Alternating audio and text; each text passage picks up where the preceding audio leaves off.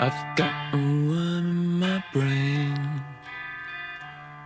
It brings me to my knees. It comes on like a thought, but it stays just like a disease. And if you don't believe me, Um, Preston. Hello, David. David in Preston, hiya Nick. David in Preston. How you doing? Good, thanks. You're a funny guy, you. Uh, thank you. I'm not sure whether you meant that in a good way or not. I'll give you one benefit of Brexit, just one if you want it. Mhm. We've closed the democratic deficit. Eh? We're no longer run by unelected EU commissioners in the Politburo of Brussels. Wow. Did, did you read that on Facebook? No? We are actually run by unelected officials in the House of Lords. They get to stay there forever, regardless of um, their uh, quality as a human being or their No, knowledge, they knowledge don't. of no, no, or, no, or knowledge They of don't. They what don't it make is laws. They just advise. No, David, they don't advise. They make laws. And No, they don't make laws. yes, Sorry, they do. you're wrong. No, I'm not wrong. Yes, you are wrong. I'm definitely not wrong, and they are overseen by an unelected head of state. So this idea that the European Union is uh, full of unelected bureaucrats is ridiculous when you turn the mirror onto ourselves and you see that we are the ones that are run by unelected officials.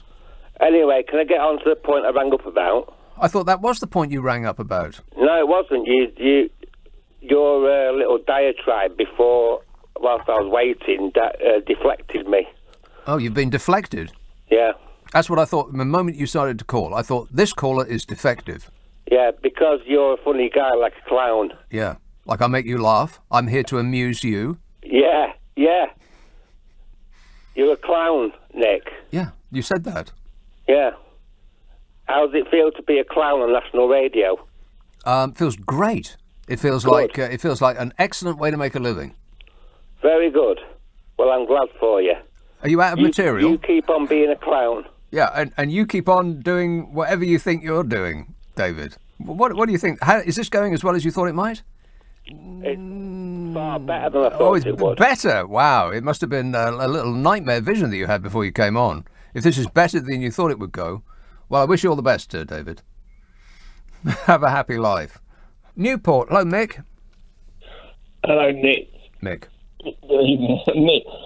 Listen, mate, I, I, I, uh, I just wanted there's several points I wanted to make really, but the first thing about the petrol stations is why on earth have we got a maximum charge? We should have a minimum charge. You know, thirty-five quid. If you if you pull in, or thirty quid even, pull in, and you can't get thirty quid's worth of fuel in your car, you still pay thirty quid. People will start thinking twice about whether they need to pull into a queue or not. Well, that's an interesting idea. Well, well, why are we doing it? I mean, minimum charge. Everyone can get a minimum in. I can get five quid in the car. Hmm. You know. Yeah, I wonder how many people are just buying a tiny, tiny amount just in order to keep themselves uh, topped up. Yes. Yeah, yeah. Listen, I love your show. I don't show your politics mostly, certainly not on Brexit, but you're so entertaining. I tell you what, you should be the opposition. You should. Well, I'll, I'll start first thing on Monday. How does that sound? Uh, you know, I got.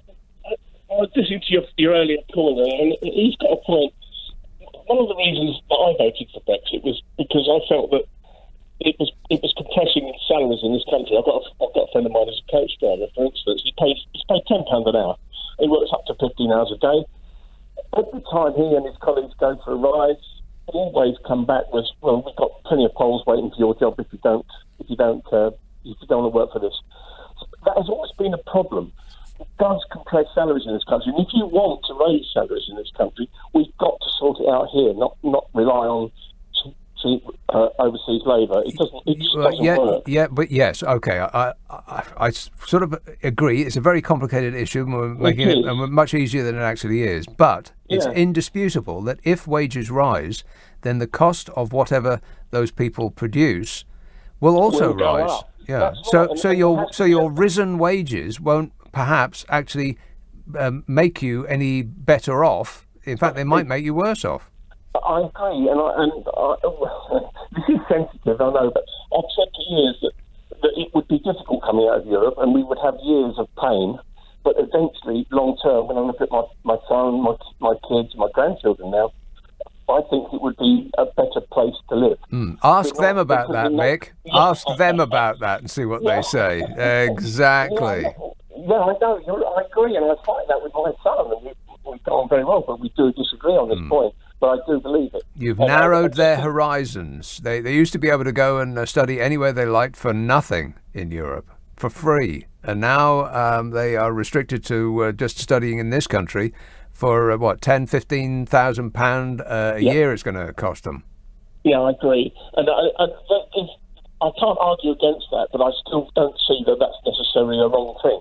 Uh, you know, you, I, I, I do feel that, that we've been controlled and governed, if you like, and our laws have been laid down by an unelected uh, assembly over. Nick, you've got to be kidding me. I refuse to have this argument again. It it was not an unelected assembly. Those people that were not elected directly by the people of Europe were elected by the people that we elected. As opposed to this country when you just donate a certain amount to the Conservative Party and you get to go and sit in the House of Lords for the rest of your life as an unelected bureaucrat making rules for this country.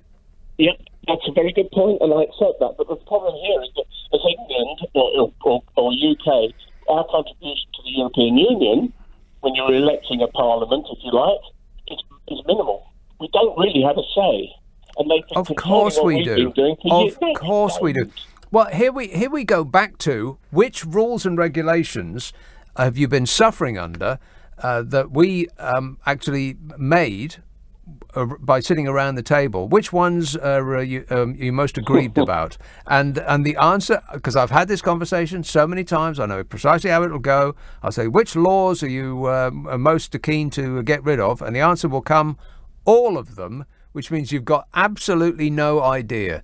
The, the, the idea has been put into the minds of people that the reason you have not achieved your potential is because of these this sort of amorphous cloud of people below you on the ladder pulling you down added to these uh, this, this sort of um, uh, devilish unelected bureaucracy but the EU is a far more democratic organization than uh, the uh, the government of this country half of which is in the House of Lords and we didn't elect any of those people and they get to sit there forever. I can't have that conversation again, Mick. I just can't. Over and over and over again. And it always goes the same way. Which laws do you want rid of? Uh, all of them. Or they'll say, um, vacuum cleaners. Oh, crying out loud. It's painful. Surbiton. Hello, Diana. Hi there. Hello there. I thought I'd upset you. You never like that when I phoned about two years ago. I thought I'll upset him. I say, hi there. Yeah. Hello there. Hello there. Now, there's one thing we've got with Brexit Okay. vaccinations. Nothing to do with Brexit. Yes, it is. Yes, it is. Because if we Doesn't- would have still been in the EU, we Mm-hmm. would had to been uh, measured out with our uh, vaccinations, the same as any other EU country. Diana, you must know by now that that's not true. Please tell me It you're is joking. true. But it it is isn't. true. See, Where- you're you're not where- right this time. No, I'm right. You aren't right. Where did you learn that information? On Where did I learn it? Yes. With my brain work. That's where I learned it. well, I, I think we've located the problem. Yeah, well, uh, well, you it don't take a genius. It's just a rocket science. We've we've had a mass a mass vaccinations. Hmm. So where we got all our vaccinations from, and also Australia run out, and we've loaned a load to them. So Diana, where so where we got all our vaccinations from? Diana, um, I don't know. I'll, I'll try not to be very rude, but um, and and That'd I, be a good old try. I, I want you to know that I mean this with the greatest possible respect. But you're, I can't. I am I can't wrong. say. You, you are wrong I for a can't say it. I almost And said also you're an getting back to the fuel, listen Yeah. to this. A chap who owns a garage up in Bir- Birmingham hmm. said, I've just had a tanker load come in. Yeah. He said, it's run out in a few hours. He said, do you know how long it generally takes to get rid of that tanker load? He A said, week, a week. Five days. Like I said. He said it lasts five days. It is all to do with panic bloody buying. It's all it's to do with. Diana, it's not panic buying when you are running out of fuel. Well, it is. No, it People isn't. keep- pe- they ought to. They ought to ration it the same as what they did in the war nine years after If the war. If you really rationed. want to make people panic, then you'll talk about rationing. yes, rationing. Yes, but uh, say no to them. They can only have thirty pounds worth at a time. And then they'll take thirty pounds, and then they'll go to the back of back of the queue, and um, and, and Yeah, and queue up for another hour or so. Exactly. And run out of fifteen pounds worth of it, and they and they've got to make it up again. yeah. So that's two things That's you've been. loopy people are That's today. two things you've been wrong about on the one call. No, I have not. Completely you, you, you're incorrect in every I'm right respect. about the vaccine. You are I totally am. wrong about the vaccine, Diana. No, I'm not. Can I'm I- right about the vaccine. It's you what's wrong. Make a change for you to own up that you are wrong. Diana, you're you've, never wrong. You've already you? you've- never. No, that's correct. You've already admitted that you have no knowledge of it. You just dreamt it up. I'm not telling you where I've got the knowledge from. No way, because I because I should be giving away too many things.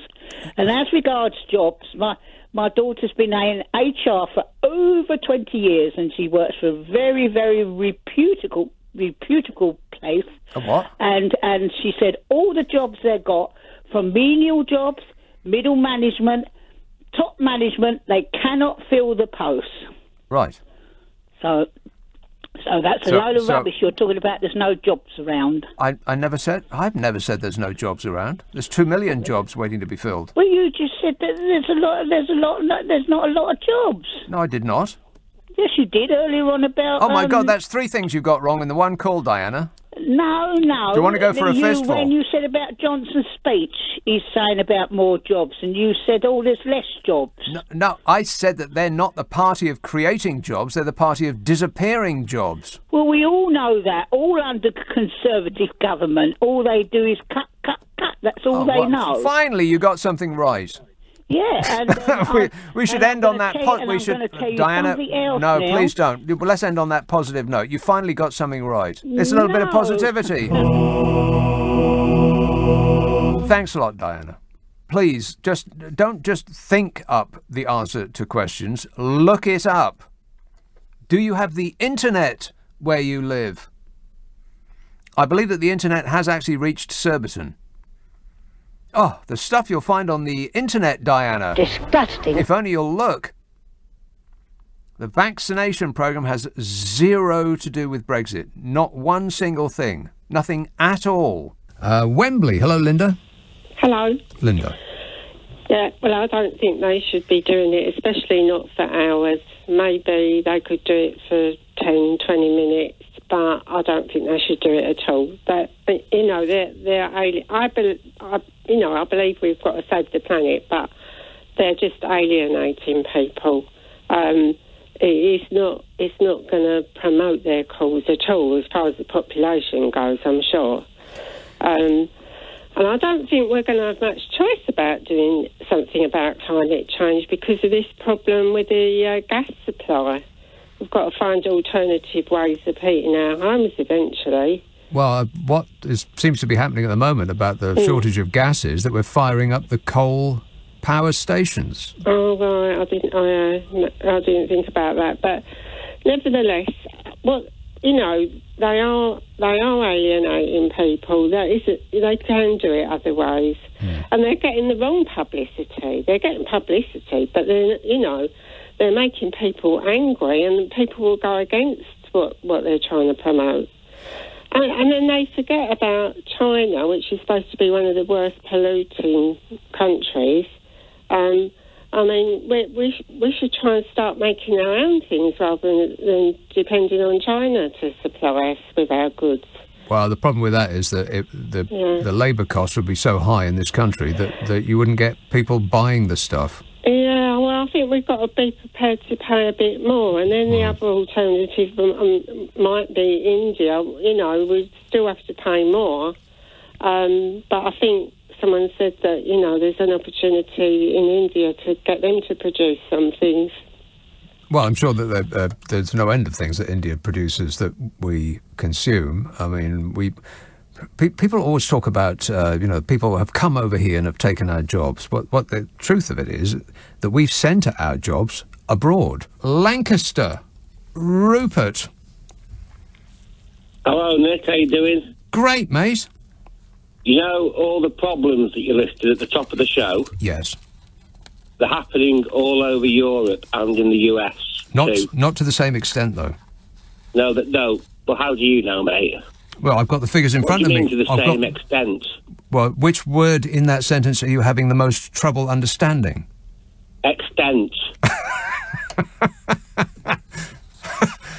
Extent. Do you not do you not know what ex, do you not know what extent means? I mean, No, I do know. I do know what extent means. I Right. want you to define how Britain is having more problems than Europe and the US. well, it's it's easy, Rupert. All you have to do. Do you have the internet in Lancaster? I certainly do. Well, then just look it up, man. Very very simple. D- don't ask with your mouth. Ask with your eyes. That's what my dad used to say. And I'd be like, "No, Dad, why can't you just tell me?" I'm not doing your homework for you, Rupert. Oh well, okay. In this one specific instance, I will. Mainland Europe is experiencing an estimated 400,000 lorry drivers shortages as uh, port closures across China and um, here, there, and everywhere have sparked the global supply chain crisis. 400,000 lorry drivers short they are in mainland Europe. 400,000. Now that's not nothing. Britain is facing uh, over 100,000 shortfall. Let's just make it a nice round number 100,000 shortfall of HGV drivers. So keep those figures in mind. They've got 400,000 short on uh, mainland Europe, and we've got 100,000 short here. Now, can you tell where I'm going with this?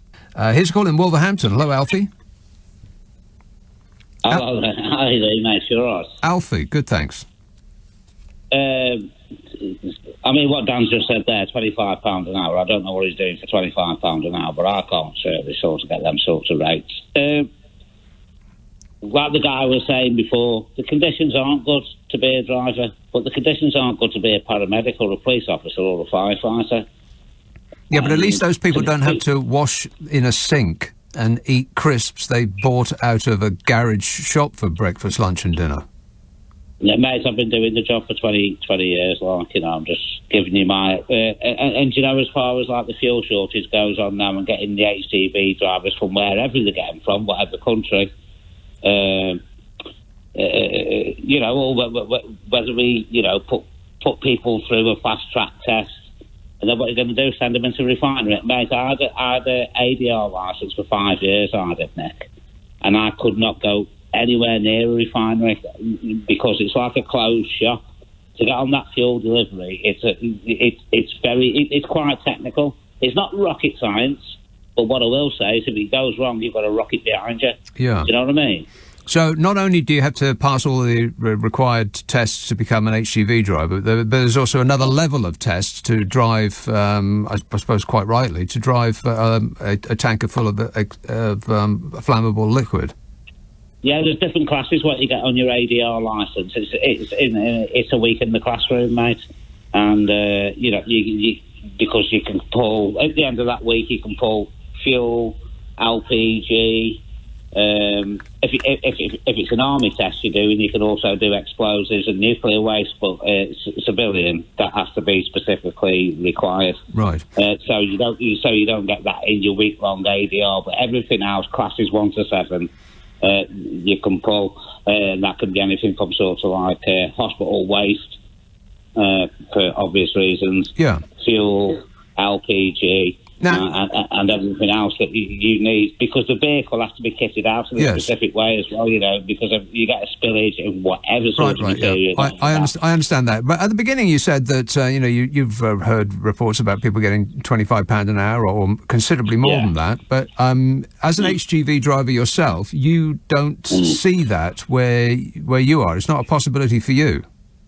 But I say it's not a possibility. Uh, I'm not, I'm not calling the guy a liar, but I mean, £25 an hour to me sounds a little bit inflated. Um, I'm pulling containers at the minute, I am, Nick, so I'm going down to Felixstowe pretty much all the while, or London Gateway, or Southampton or Liverpool, wherever.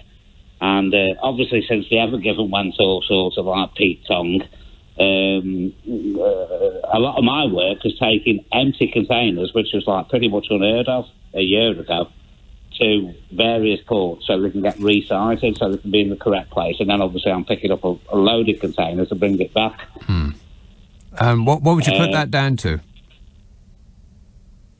Well, um, the pandemic, really, to be fair, has uh, fueled a lot of things because obviously people are staying at home and they're ordering loads of stuff. And then when it went Pete Tong and the Suez Canal, that did really mess things up for a couple of months. There has, and I've, re- I, you know, I've, I've, I've seen the effects of that because I'm, I, I drive containers, so I know exactly, you know, Yeah. what's happened there.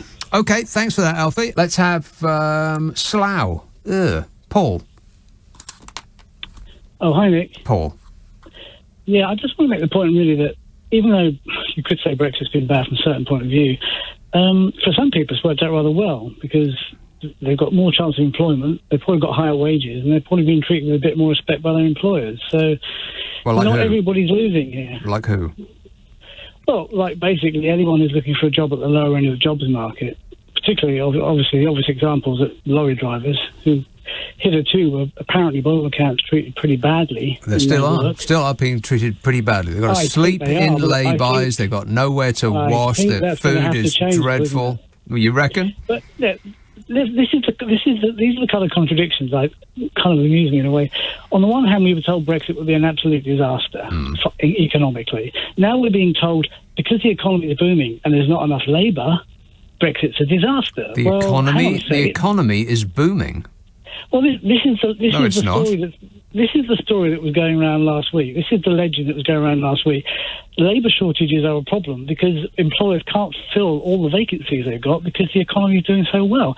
But No, that no, doesn't no, make no, sense because no, no, no. They can't. No, no, no, no, no, no, no. They can't fill the jobs that they have open because British people don't want to do those jobs. Well, you say that. This is we, we're, we live in a capitalist system. Now, are you telling me that they wouldn't do those jobs if the wages were high enough? Well, it depends on what you mean by high enough, Paul. I mean, if Well, if well, hang on a minute. If if the, if the job you're talking about is being a farm labourer, for instance, uh, you, where Yeah. people come in for a couple of months a year.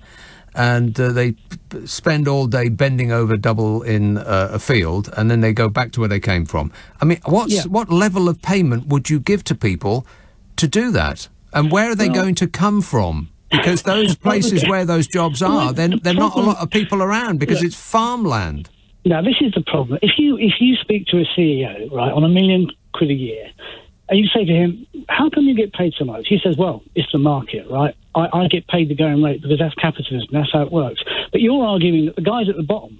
That rule doesn't apply to them. Of course it doesn't. If, if Of course if there's it a shortage doesn't. of labour, their wages shouldn't go up to maintain some kind of weird equilibrium at the bottom.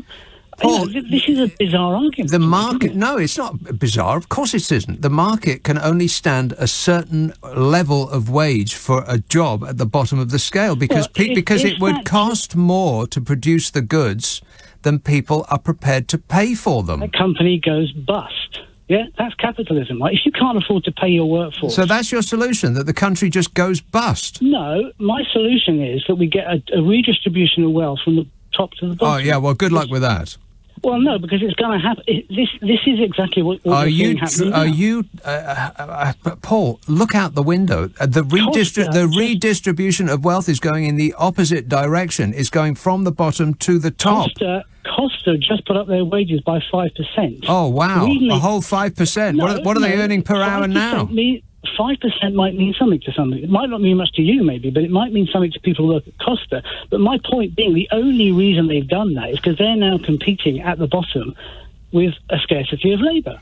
Capitalism is working. Brexit has brought about this situation. So, No, it, like, it, is it is not working because. But listen, you can't keep putting the wages of the lowest paid people up without affecting the price of the product that they're selling. Swindon, hello, James. Hello. James. Hello. Uh, yes, James. Hello. Hello. Hello. Hello. Hello. Hi. Why? Right. So the best thing about Brexit, and it, it has to be the best thing about Brexit, is that the crown stamp has returned to pint glasses. Finally, a pint will be a pint again. Exactly. Yes. Oh, is that it? but, but, but also the, the other the other good thing about Brexit is that we got the uh, the vaccines quicker. yeah, but that didn't happen though. Yes, it did. No, it didn't. Yes, it did. Ah, but it didn't. Well, well, my research it did. Oh, your research, uh, which uh, which um, uh, um, what's the word I'm looking for? Which uh, amounted to what? What did your research amount to? Looking it up on your That- Facebook that- feed. That, that we uh, that, no YouTube actually. Ah, YouTube. Yeah, okay. I, I take it back. You're completely correct in every respect. I knew it. I knew it. Yeah. All right. Thanks a lot, James. I bet people didn't even notice that the pint mu- that that uh, crown mark had gone off a pint. I mean, who who cares about it one way or another? Wallington. Hello, John. Oh, hi, Nick. John. Nice to talk to you again. It's not just China's aggressive behaviour in the South China Sea and Southeast Asia. It's their backing of a very aggressive Iran in the Middle East. So if Israel take issue with the nuclear treaty and decide to destroy their nuclear facilities like they did the Iraqis, you could well see Chinese troops alongside the Iranians all over the Middle East. They have to be stood up to. Uh, well, see that now that just sounds like we've talking we're talking ourselves into World War Three. No, no, we're just reacting to aggressive behaviour by both China and Iran. You know, us going, us, us, us sailing 11,000 miles into Chinese waters rather seems like we are the aggressor. We're not the aggressor. They are. Right. But everything, everything, not- everything that you just said makes it sound as though that the opposite is true. I mean, what business is it of ours to be there in the first place? It's 11,000 miles away. Why are we even there? What's it got to do with us? Why do we always f- seem to think that it's our job to be the world's police? That's not us anymore. That's ancient history. We, we just can't let it go, can we? China would snuff us out like a light. That's probably not how the next war is going to be fought, though. If the Chinese really wanted to upset us, they really wanted to um, uh, ruin the nation, then they'd just switch our electricity off. And they could probably do it uh, by giving uh, some Chinese teenager a laptop. If they really wanted to upset us, then they, they would cancel the shipment of the next iPhone. Let's have a call in uh, Islington. Frank. Hello? Frank. Hello? Frank. Hello? Hello? Yes. Hello? Um, Yes, Frank. Hello? I love... I, who's that lady in the background? I love your ideology that laughter is the best medicine. Is that my ideology? Could be. That laughter is the best medicine. Um, I don't know. I prefer aspirin myself. Asp- Extra. Mr. Boris Johnson's speech, I thought it was. I thought it was superb. I thought it was brilliant. In what way? I just thought he, you know, he rattled on for it. I mean, nobody ever gave a speech that lasted that long. What was the guy, the American President Bush, that couldn't talk for 10 seconds? Remember him? George Bush. Absolutely. Yeah, George, Yes. George Bush. Mhm. The W- guy was the W. Amer- he was a president of the United States. Yes, But whenever- he, he whenever- used to be the low watermark in uh, presidencies um, until uh, this guy uh, came uh, along. Don't be rude. That guy. reminded me of my brother because my brother's pretty. My brother, when he comes out to m- me to visit me, I can't get two words out of him. Sounds like George Bush. Right. Okay then. But I thought, right, Mister, I thought, I thought that, um, I thought uh, Boris's speech was brilliant. you And didn't hear it, did you? No. I listened to the whole thing. I very much doubt that. Which And which pa- which passage was the most brilliant? and the came come on, man, it's a one piece. The at the frog thing. I thought was icing on the cake and a little reference to Miss Piggy. I gave him eleven. I gave him eleven out of ten. Eleven a- out of ten. That And makes I'm as much la- sense as anything else that you've said on this call. And I'm a Labour voter. Yeah, I doubt it. Oh. I very much doubt that. A Labour voter, he says. Don't believe you. First, here is an important uh, call in Chelmsford. Tris, Hi there, Nick. how you doing? Not too bad, thank you. First time caller. Good man. So, how it normally works is um, I say "good man" and then you tell us what you wanted to say. So let's let's So- start from the top. Yeah, go on then, Nick. Sorry. Good man. Thanks, Nick. Now, the reason why I was calling in, um, you were asking for benefits of leaving the EU. Yeah. Well, one of my benefits was that we've recently signed a new trade partnership with Australia and the US and AUKUS. Oh no, we haven't. What do you mean? We we have done neither of those two things. Well, not a trade deal, but we're, do- we're doing the submarines off the French now. We're doing the submarines off the French. Right. Yeah, so, so exactly that that. has zero to do with a trade deal between Australia and America and us. That's not a trade deal. That's uh, that's an arms deal. Big difference, huge. And we don't even know what our part is going to be. I mean, uh, uh, was it Liz Truss? I find Well, it hard way, to I mean, hard, to bring her if we were still up without of laughing. EU, if we were still part of the EU, I don't think that we could do that against the French. Of course we could. Why? Well, why not? Well, I don't think that we, we, we could have done that. It would have had to have gone through some kind of EU part, um, parliament or something like that. A, a, tr- a deal to make arms? Of course it wouldn't. No. Is that it? Well, that's what I thought. Yeah, I mean, it's, it's something that we could have done. We couldn't have done this being part of the EU.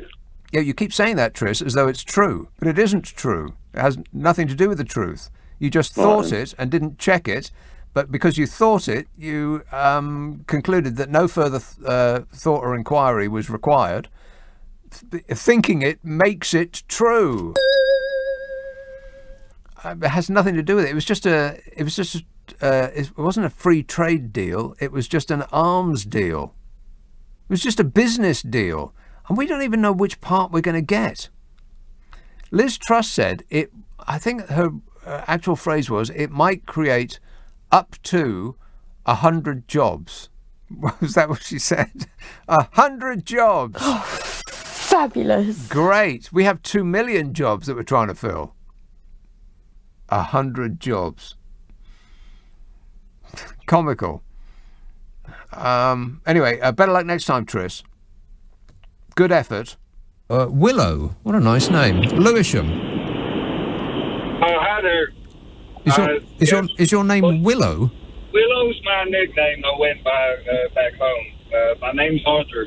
Right. Arthur, uh, Arthur Morgan. Audrey. Now, uh, Arthur Morgan. Audrey. Uh, uh, Morgan. Morgan. Right. Arthur uh, Morgan. But anyway, um, I'll- can you I'll hear call- me okay? Can I call you Audrey? Not really, but go ahead. Okay, well, I'll, I'll speak nice and loud. Now, I'm from the United States. Uh, essentially, I'm from a different time. But uh, the way I was living, uh, we didn't really have much of nothing, hardly any electricity, running water. But what we did have where I live was uh, produce, okay, produce. And what I'm seeing now uh, in my state in the UK is a lack of produce uh, because I'm in the flower business these days. I used to be in the train business. But these days, I can't get flowers delivered to where I am. You see, and it, I think it's because of this uh, Brexit, the, uh, the Brexit thing. You can't get flowers, did you say? I'm having a shortage of deliveries, my friend, of, uh, of flowers, of peonies, of roses, of lilies, of all sorts of things, dahlias. Uh, and and I, I don't, I don't really understand what's going on. I mean, Well, that's you and me both. I, I've got no idea what's going on, and this is my own show. Are you serious? I, I mean, I, I don't know. I, it doesn't feel like much of a joke. I mean, like I've been seeing all, all sorts of uh, friends of mine have been not getting their deliveries through.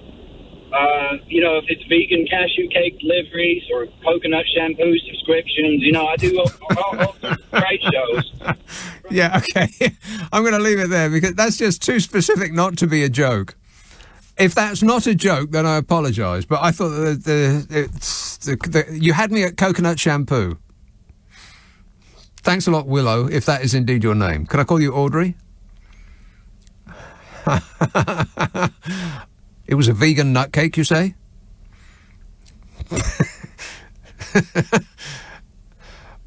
yeah. Oh.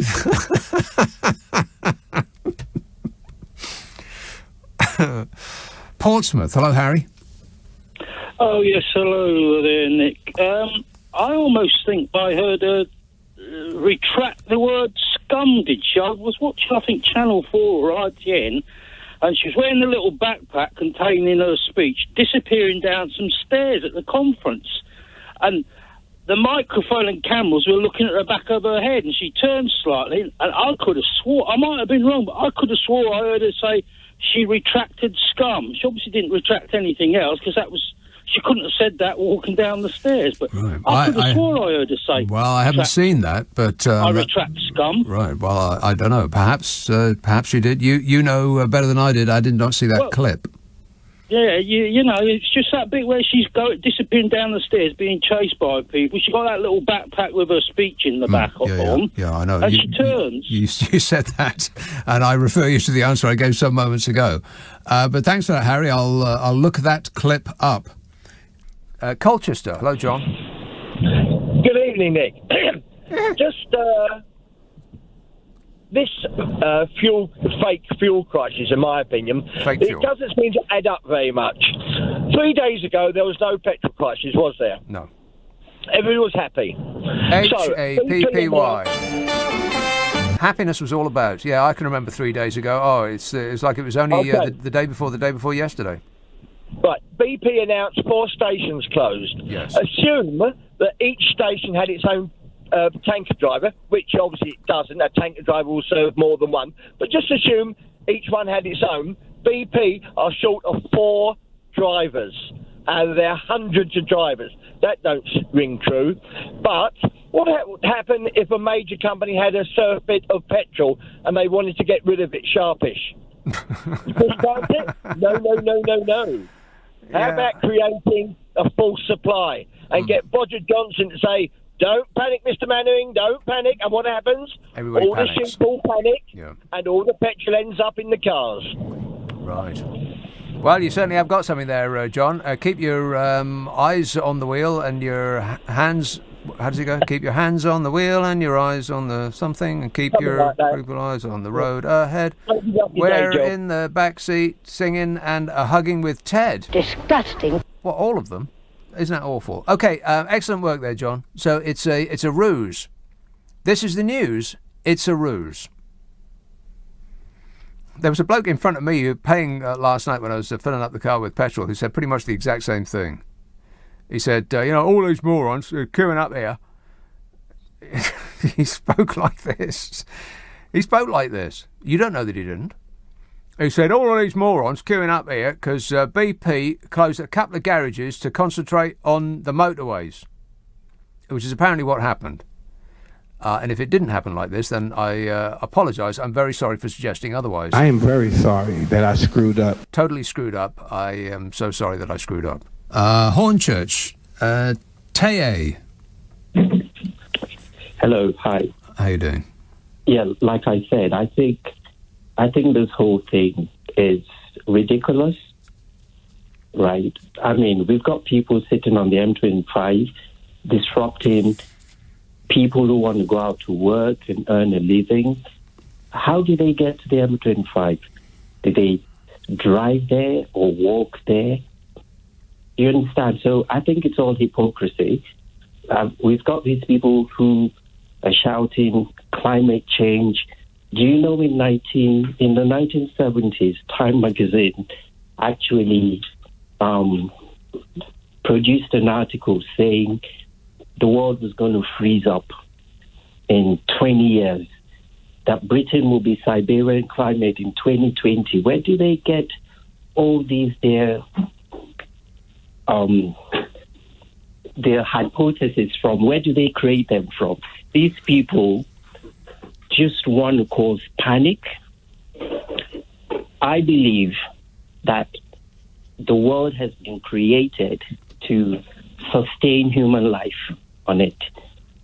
Yes, we will get some adverse weather conditions, but it doesn't mean, mind you, it used to be global freezing before. Now it's climate change or global warming because they couldn't put anything down to it. Well, the weathermen well, the, the reason I think the reason people started to call it um, climate change rather than global warming is precisely to counter uh, arguments that you're putting forward that um, will amount to in the winter somebody will go out and pick up a snowball and say, "Look, there's no such thing as global warming because it's freezing outside." That is what you're describing is weather. Now, I am. I, I'm not familiar with the article itself, but I do know that in the 70s people were uh, uh, declaring, I, and and I don't know who those people were, by the way, but they were saying that we were going to enter a new. world experts. Wow. World experts. Okay, they were saying that we were going to enter a, an ice age, but for whatever um, information they, they had at the time, is is not the information that c- climate scientists are uh, familiar with now. So, you know, we, we used to scientists, world experts used to say that the moon was pulled across the sky by um, a god on a winged chariot. Now we know better. Oh, come on. We- We're talking about today's world. We're not talking about Greek mythology here. We're talking about real science. The truth is, look, there will be climate change. There will be there will be adverse weather conditions. The world will get warm sometimes. It will be cold sometimes. These things will happen. They're human beings on the planet. Yes, but don't But don't me- you think that it's a worthwhile um, uh, uh, uh, process to try to ameliorate some of the worst of the changes that we're facing? I mean, you you can say yes, the world used to be a, uh, you know a flaming ball of gas in the sky. Um, and that may be true, and it's cooler now. But we should, we should just carry on as we are, regardless of the consequences, which, which seem to be becoming more evident by the day. How how is it becoming more evident? All all we can do is measure um, changes in the weather condition over over the years, and it hasn't really changed that much. However, You mean in your lifetime? You haven't, you personally haven't noticed it, but but that's that's not the same as uh, it hasn't happened. okay, I mean, ultimately, what what I'm trying to say is that this thing is being blown out of proportion, totally out of proportion. you you have you get- have no understanding of what the proportion actually is. I mean, if some of the people are right, and the um, sea levels do rise, and London becomes uh, partly uninhabitable, then the cost of um, of uh, fixing that problem is absolutely unimaginable because it's a problem that will also be happening in New York and Los Angeles and Hong Kong and every other major uh, urban area on Earth. Look, it's it's, and, I'll tell you why I, I disagree with that, right? And I will say that China, which is probably the largest consumer of fuels, right, in the world, will continue to burn fossil fuels. And even if the whole world stops, the appetite for energy in China will continue to grow. And it's not going to change anything. Right. So because, uh, and I hear this so many times, but because uh, some places are going to do nothing about it, then no one should do anything about it. That's not really much of an argument, Teye, but um, I appreciate the call. Thanks for that. Hammersmith. Hello, Sarah. Um, hello, I think this information is incorrect because new builds are built to current building regs and they won't be signed off by building control if the um, if the installation is not of the correct thickness. I just had to do with a, a, a property that was completely burnt out and we had to put um, more rock insulation in, which actually um, reduced the size of the room, and that was in a um, an older property. Um, that was a timber built property, so you know it had cavity wall insulation and all like that. But it's not the new builds. I've got new build buildings that are literally unbearable. You go in there and it's so hot in the summertime, you cannot breathe. It's Well, that, that, that means that, well, no, that's the opposite of that. If that means they're not insulated at all. If it, if the heat comes from the outside to the inside, then that means there's no insulation. No, no, no, no. It's internal insulation. It's so insulated internally that I've got residents that are telling me that they want to put air conditioning in, and I can't give them the authorization to do that because they're cladded on the outside. So that breaches the cladding, and obviously that would then, you know, cause a fire safety risk.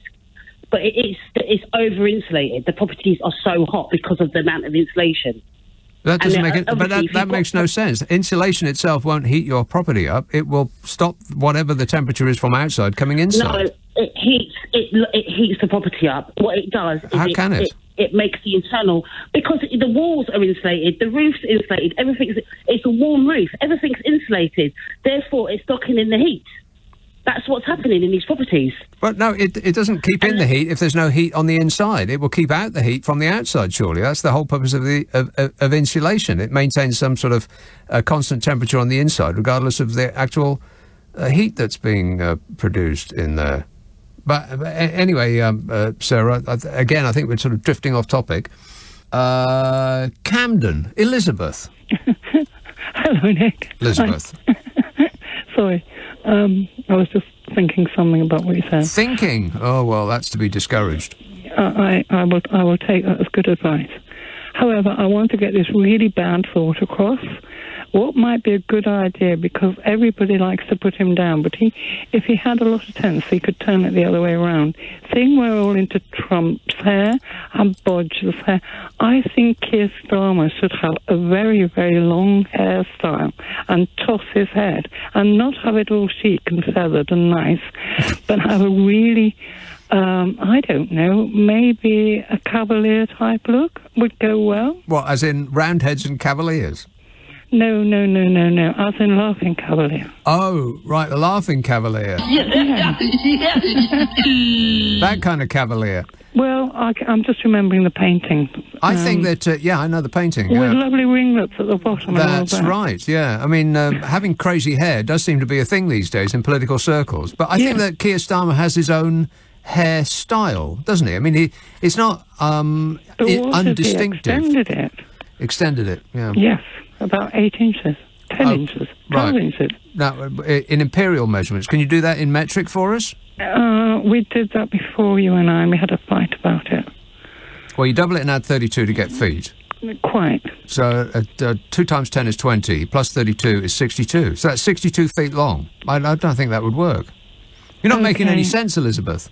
I know, but that's both of us. What can I do? You can only Night, take... night. Yeah, all right, good night. You can only take care of your own sense and uh, allow me to see if I can fashion some sense out of my own. Yeah, a little, a little less hair gel, Keir. Here is a call in Bromley. Hello, Joe. Hello, mate. Joe. Uh, hello, mate. Uh, yeah, um, petrol. Lovely, isn't it? I mean, Mm-mm. where I live, where I live, at the top of my road, there's a BP Select, and it's always busy, even in the good days. Always busy because we're all buying bread, butter, milk. It's a petrol station. I want to fill my tank up. Yes. But you sit, you sit and wait for ages. Okay, that, that's a that's a given. Um, but now I've gone up the top of the road, and it is tailed back to the end of the earth. you know, don't panic, don't panic. And what's the first thing everybody does straight Panic, away? panic. Panic. I mean, how many times have we heard this? We had this with COVID, didn't we? You know, don't don't. That guy in Australia that went out and bought a hundred, you know, toilet roll bags. Right. Got his receipt. Went back later when it calmed down a bit and said, "Can I have my money back?" The, the manager said, "No, you can't have it. No, no, mate, you bought them. Yeah. They're yours." Second-hand toilet rolls? No, thank you. Say that. Do you know what I mean? Uh, How how crazy is it that we once ran an empire, and now we can't buy a gallon of petrol? The gas is going to run out. You know, but don't worry about that. Don't panic. You don't panic. What is going on? I mean, I mean, is Boris either that clueless, that inept, that powerless that he can't run a country? Well, You know? um, clueless and inept. Yes, um, I'll be on board with that. But is he powerless? No, he has an enormous amount of power. It's just Well, whether, what whether happens he'll, he- whether he'll use it for good or not is uh, well, we don't really know. I mean, I Well, the man, the, the man, the man has got to sort something out because you know I'm an old boy, well retired and all that garbage. But at the end of the day, you've got to look at it and go, please get on with the job. Everybody's saying we haven't got this, we haven't got that, we've mm-hmm. got no money, we're running out of this, we're you know, families. Him and her are working. Him and him are working. She and she are working. Whatever they're working and they still qualify for benefits. I mean, what is going on? The fundamental is very, very, very simple. It's all right, prices rising through the sky, but if wages don't follow, we know where we're going to end up, don't we? Well, wages are going up, and they're probably going up at an unsustainable rate because the prices haven't hit the people in the pocket yet. The price rises haven't sort of worked their way through the system yet, but when they do, then people will start to complain. But they say, you know, they're saying things like, we have lorry drivers, so get some lorry drivers. You unfortunately, that can- unfortunately, Joe, the the one problem that is either causing or exacerbating all of the above is the one thing that they cannot admit is causing a problem. So if you can't admit what the problem actually is, you can't deal with it. This is why they're refusing to bring um, lorry drivers in. They're refusing to bring the enough uh, workers to work on farms, to work in uh, you know food processing and caring and all, all of these other uh, uh, occupations that are desperate for the the workers that have left because we screamed at them for five years that we didn't want them here anymore. If you admit that Brexit, there it is, I've said it, is part of or the problem, then you can do something about it. But they will not admit that. They can't because it's the only thing they've got. I mean, what else do they actually stand for apart from let's get Brexit done? I mean, anything? Can you think of anything? Don't tell, don't Oh. say levelling up because Well, please. well, I mean, I mean, you know, me, me as an old boy, yeah, I. I voted. I voted for Brexit. Not ashamed of it. Not proud of it. I voted for Brexit because I assumed that there was some common sense that could rule that would give those who voted, which, well, in my particular case, for out. I wanted sovereignty back. But that's, that's, that's a completely meaningless uh, uh, phrase. Sovereign, the, you, you didn't vote to get sovereignty back. What, what does that mean? It, it doesn't mean anything at all. It's just one of those catchphrases, those buzzwords that people just throw That's out. meaningless. Nick, that's a fair comment, and you're always known to be fair. But the fact of the matter is fundamentally very simple. Right. Fundamentally very simple. Mhm. When you vote for something, you vote for a premise, you vote for a belief, Yes, you vote for something that you wish to occur. Right, and you were lied to, Joe, Well, of course. over and over and, over and, again. and sadly, sadly, me like so many millions of other people, I'm sure. you took it on and I'm face value. thinking, yeah. well, what was all that about? Right. You know, I mean, I mean, I, have a daughter who who lives in Spain, who loves the Spanish culture, who wishes to be part of the EU. Who, Dad, what have you done? Dad, what have you done? Yeah, what have you done, Dad? Well, but but that's what we do, isn't it? I mean, we we you know we, we believe what we believe in, and we react accordingly. You you believe against all the evidence to the contrary, all of the promises and and like fantasies that were uh, sold to you as um, reasons for voting to leave the European Union. Mean- believe- me- yeah. Meanwhile, uh, practically every expert on Earth was telling you not to do it, but you did it anyway. But, but but a belief is a belief, Yeah. is it not? I mean, what is? And I think you've got we, it- Why, why are we now believing in in a government? Well, all right, some of us are, some of us, a lot of us may not be, but you know, you you have to look. We we can't have, if you like, a total uh, situation of anarchy. You know, we have to believe in something, and we have to have yeah, leaders. but, but believing in Brexit is is is is like a religion because it doesn't uh, uh, bear up to any scrutiny. There there is no logic to it. It's just a it's it's just belief of of uh, of a fantastical tomorrow. I mean. And each promise just falls by the wayside, but people won't admit it. they won't admit that they've been had because, like I keep saying, it's too much loss of face and uh, too much loss of hope. That's the important part. They're pinning their hopes and dreams that um, that the the people that were holding them back from achieving their potential could, if they could just leave, then uh, everything would be all right. And they left, and everything is just as predicted by people who are saying no, don't don't vote, leave. It, just as predicted. I mean, it's blooming obvious, isn't it? There's there's shortages in all of the professions that we used to rely on foreigners to do. Let's have a call in uh, Streatham. Hello, John. Hello there, Nick. Hi. Good, good to talk to you, John. Yeah, can you hear me? Yes, I can. Can you hear me? Right. Yeah, I, I don't mean to be controversial, right? Oh, but no. I Oh, think now, no, listen. Brexit, in a way, Michael Moore said that Brexit and the vote of Trump were both Molotov cocktails, figuratively speaking, being thrown at the system, right? Mm-hmm. And not wanting to ever agree with Priti Patel and Dominic Raab, but they did say that British people are the m- most lazy idlers in the world. They did. yes, they did And- say that. Yeah. Now, now your your esteemed colleague James O'Brien often said that, like to say that oh that that, that was a bad thing for them to say, but I think that's the first right thing they've ever said. You know, because we are quite lazy. Uh, Um, mm, are we? Well, I mean, how many of us are fruit picking now that all the uh, Romanians and Bulgarians have left? Well, I mean, if, you, if you went to Germany or France, how many of their uh, uh, local citizenry would be out in the fields yanking tubers out of the ground? None, none of them, because they don't want to do that work either.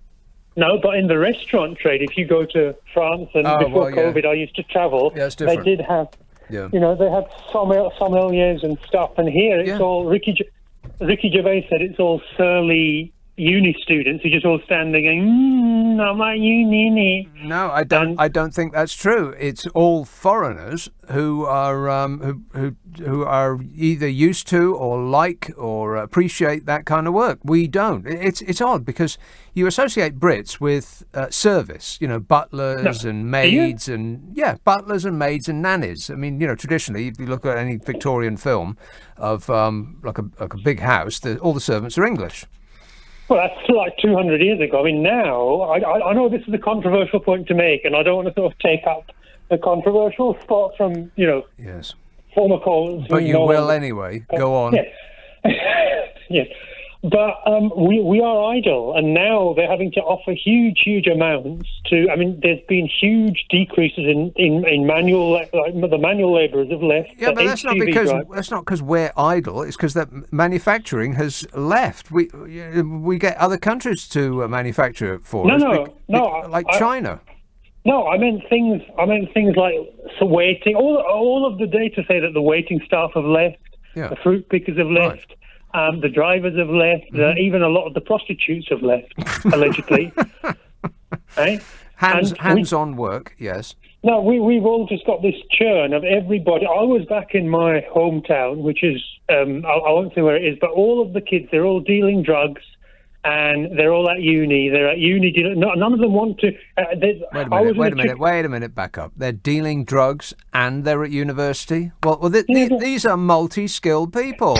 Want to score some pot? They're, all at uni now. I was at a fried chicken shop in Streatham at the start of this week, and there was a, a an overweight English girl who was calling up about her universal credits. I'm not having a go over that, great. But she tried to strike up a conversation with me like, oh, the government ain't giving me my money, and I ignored her. But if you would have given her a mop there and told her to do one of the jobs that the Romanians or Bulgarians used to do, she would have gone, oh, I'm, I'm going to go uni. We are idle. It's the, the data showing it. That's how the country is I grinding to a halt. don't agree. What data what- is what data is showing that we are idle? Well, the, the fact that you've got all these wait, waiter vacancies, cleaner vacancies. I tried to get some cleaners for my mother, right? Hmm. And I was almost throwing money. There's no English cleaners. There's no English um, uh, gra- grafters to do these things, like you know all the things that the Poles used to do. What, what, what, why have we got all these vacancies now? Yeah, but well, we have these vacancies because all of the people that did them left because we were Yes, screaming ex- at them to get out of our country. Exactly. And now that they've left, the hard workers have left. Yes. Of the of the of Uncle Nigel's right uh, native population, no one wants to do those jobs. Yeah. Thanks a lot, Nige. I'm a nutcase. Yeah. See what you've done.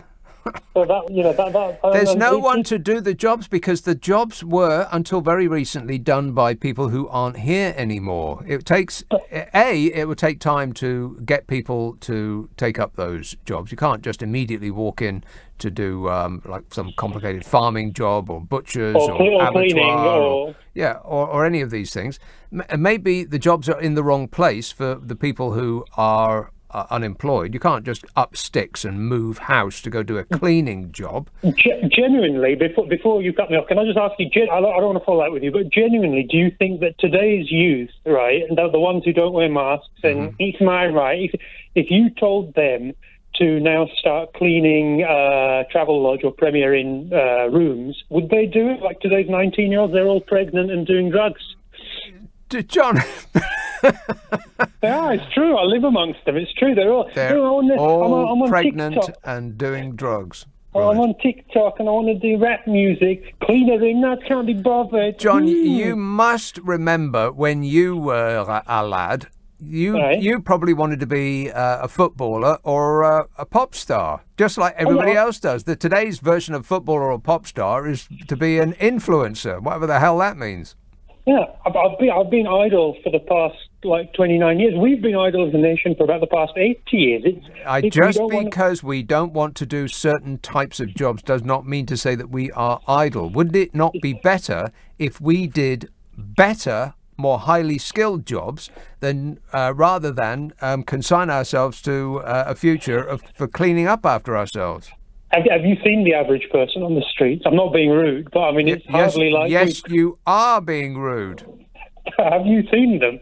I mean, have you genuinely seen many? of- I mean, are you, do you really want them to do sort of com- complex surgery, or even like you know rearrange your sofa? I mean, it's it's not. We're not. We're not doing great on the brain. I mean, just look at the Daily Mail comments, for example. I mean, the, it's it's not like we're highly intelligent people. Right. Okay. Well, I pushed back as much as I could, um, uh, Great Britain, um, but I can't push back any further. Thanks a lot, John. Ealing, Kumar. Good morning, sir. Yes, sir. I'm going to give you five reasons why we're better off outside of the EU. Okay. You, you have to understand the history. I vote. Are you old enough to remember pre-common market? Uh, no, not really. Okay, I am. I'm. Uh, I remember the days when most of our fruit came from the Caribbean and Israel. Most of our dairy products came from Australia and New Zealand, and no, they were very, very no, no, they didn't. What do you? Well, you you just said you didn't know, so how could you speak? Well, Most of our dairy products came from Australia. Rubbish. And New Zealand.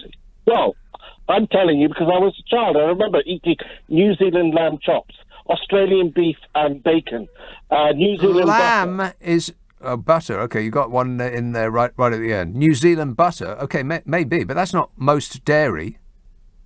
I think most dairy consumed would be milk. me. There's, there's Forgive me, absolutely no way that most of the Forgive me, milk you consumed in this country time- came from me, Australia and New Zealand. Excuse me, sir. If you weren't around at the time, how can you possibly comment? Kumar, you don't have to be around at the time to figure out that the milk that we drink in this country did not come from Australia or New Zealand now or at any time in history. I, I didn't say milk. Did I mention milk? You said dairy. Most dairy, you said. Excuse me. Dairy is a wide-ranging. For, anyway, I don't want to get into an argument. Let me make my points, and then you can come back to me. Will you permit, permit me that? Do me the courtesy of that? Uh, okay then. Otherwise, I'll hang up. I'm not. I'm not bothered to get into, into an, a, a, a, a contretemps with you. I want to make some points which are valid. Uh, I'm sorry. I'm sorry, but uh, do you want the five-minute argument or the full half hour or no arguments? After, after I make my points, you're most welcome to come back to me with five or half an hour. I don't care. How long do these points actually last? Because five seems quite a 45 lot. Seconds, 45 seconds if you don't interrupt me, sir. 45 seconds starting now. Now, okay. Second point I would say is this, is that the fishing industry was decimated after we joined the common market. And that's one of the reasons why Michael Gove's father, for example, uh, was, was put out of work. And Michael Gove is hostile to the EU. But I remember my mother used to, because we're mainly fish eaters, not meat eaters. Our family, we used, my mother used to bring back halibut. I have not eaten halibut in 30 years, sir. Well, And order it. halibut. Just order it.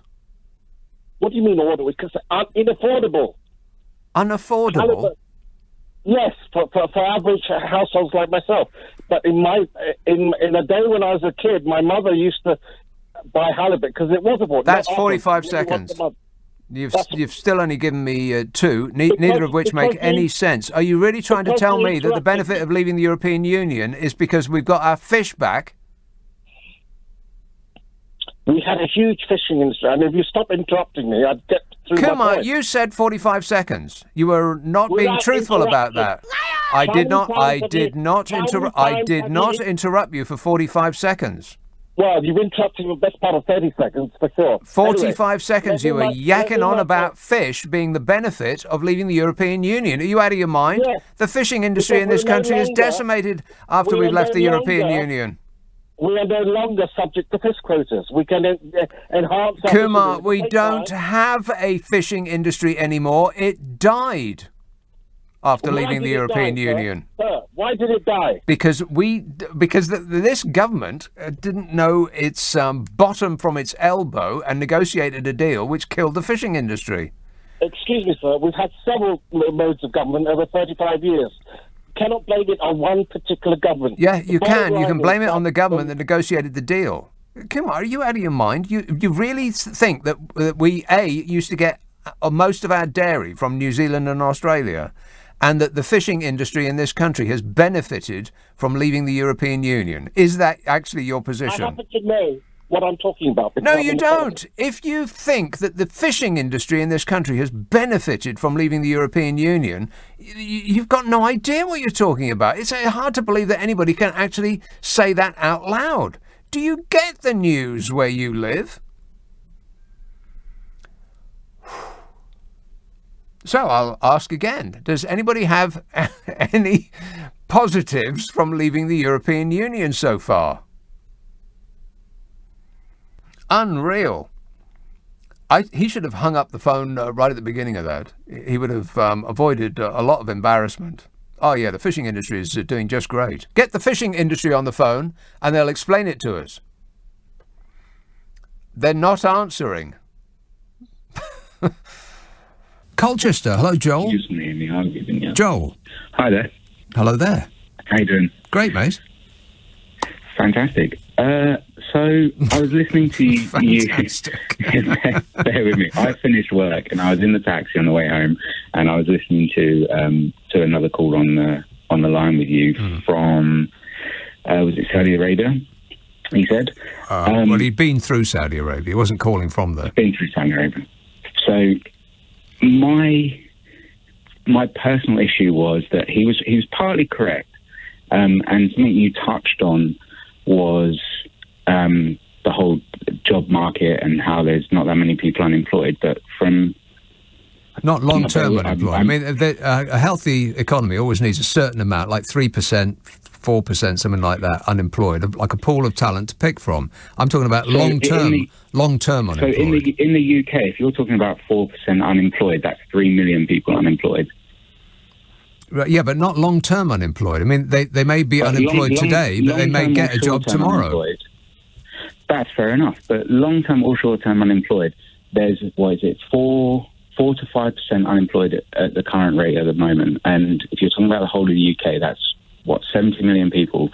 So that's approximately three point two million people unemployed. No, but it, but it's not. You know, it, it's the, the percentage of people who are Whether they're long able to unemployed, able to do people unemployed. able to do work. You you can't count two year olds or hundred and two year olds. Yeah, but, but, any- in that, in but that- anyway, in let's let's not get percentage, bogged you're down. Not, you're not count. You're not counting two-year-olds or three-year-olds. You're counting people that are of working age and can work. So throwing out that oh, you can't count two-year-olds or three-year-olds. Where are you're going to put that up to like 10, 12, 13. All right, well, okay, all right, all right. Let, well, time's So ticking on, so let's not get bogged people. down in statistics. What's your point? the point is, so I'm English, and my point is, English people are incredibly entitled, incredibly lazy, and I'm with you on the whole. Uh, Well, compared to compared to what? Compared to who? uh, com- compared to Europeans, compared to people from the continent.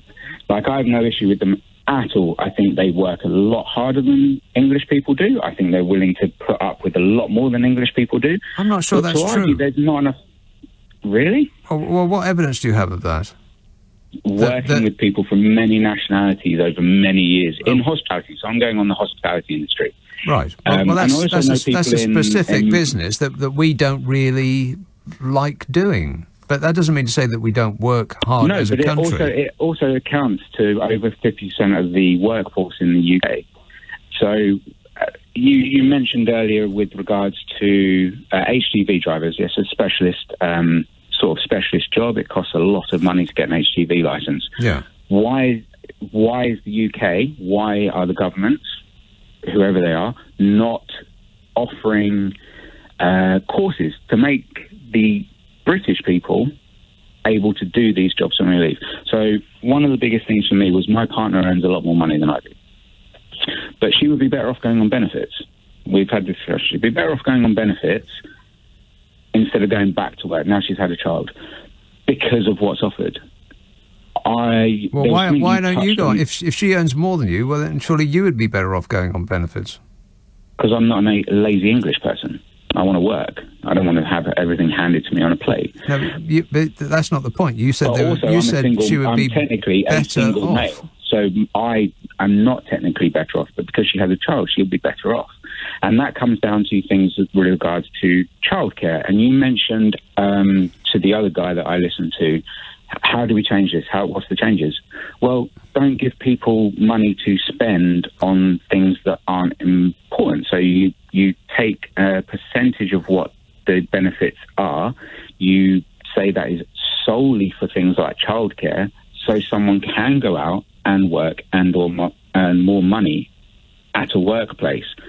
Yeah, that, that doesn't so seem that- like a, a, a sensible solution to make this make Why not? To, well, to to make benefits even more complicated to uh, dole out than they are now. Not really. Yes, really. Because you give I mean, that was the whole give them point of of, them u- to- of universal credit to make to make like- it more simple. Oh, universal credit made it incredibly more complicated. It was much more simple. I've been on benefits a few times over the years, and universal credit was way more complicated than. Um, Okay, than- all right. But to cut to the nub, your your solution is to um, make people uh, so poor on benefits that they have to do any job that's going just to survive. any job that's going with the minimum wage so that they don't survive. So they actually go out to work and they get all those benefits from working instead of Right. just But, reaping but we, money c- we come back again to there, there, we don't have a long term unemployment problem in this country. So you're, you're trying to solve a problem that doesn't exist. It, it sounds a lot like just lashing out at uh, people below you on the ladder, which is kind of what we specialize in in this country. We like to think that people below us on the ladder are the problem. But the truth is, it's the people above us on the ladder that are pushing us down, not the people below us on the ladder who are pulling us down. Yeah, let's lash out at the poor because, uh, you know, that'll work. Thanks a lot, Joel. Thanks for your concern. Brentwood. Hello, David. Yeah, hi Nick. Um, I, I didn't ring in about about Brexit, having listened to you for the last twenty minutes, but I, I did want to mention that there is a there is a worldwide shortage of, of drivers. I mean, Yes. it's not just Brexit. No, that's right. But we are suffering much more than anybody else. Well, I mean, there's maybe, four but I hundred don't- thousand in Europe. In all of Europe, four hundred thousand short. There, we are over hundred thousand in little old Britain, which means that our shortage is double what they're suffering in Europe. Yeah, but I, I think you know this is going to, it's a long term issue. We haven't been training up drivers, and uh, you know. Uh, anyway, I, I didn't want to bash on about that, but I did want to say that. I mean, the whole idea that you know that Christmas is going to be cancelled because we can't get pigs in blankets. I mean, I, I saw some woman, a pig farmer, saying she was going to she was going to give up because she had a kettle of pigs, and I thought, well, I thought that was the object Yeah, of the I- exercise. exactly right. But the problem uh, with killing the pigs is that you've got to cut them up once they're killed, and that is a spec- like a very uh, specific and specialised task. Yes. Yes, so, uh, and the people that uh, do that, they they've left along with the drivers. Well, yes, uh, but I, you know, I well, I, I did support Brexit, and there was, there was always going to be adjustment. Nobody that- Adjustment. Do me a favour. Uh, after what period of time do we uh, do we cease to Well, be you- adjusting? no, you- yeah, I mean that that was why people voted for Brexit because they they were being you know undercutting salaries. I mean nobody. Well, isn't know, it interesting though? If that's actually the case, then why haven't all of those jobs been uh, immediately taken up? Well, as I say, it, you know, it doesn't happen overnight, does it? I mean, you know, you will these these wages will rise, and people will have to take these jobs. Well, people keep saying that as though it can just magically happen that way, No, and, and I- things will and, and things will remain the same. If wages rise, that means the price of the goods will also rise. Not necessarily. Of because course lot- they lot- will. No, no, no. Of course Because they a lot, will. A lot of employers, people who run farms, which are mostly run by city conglomerates, they can, you know, they just have to cut back on their profits. Isn't it? I Farmers my make local almost nothing. It's a desperate uh, effort on a daily basis to keep your head above water. I agree, but I, you know, I, I, I see. I talk, you know, they talk about shortages in supermarkets.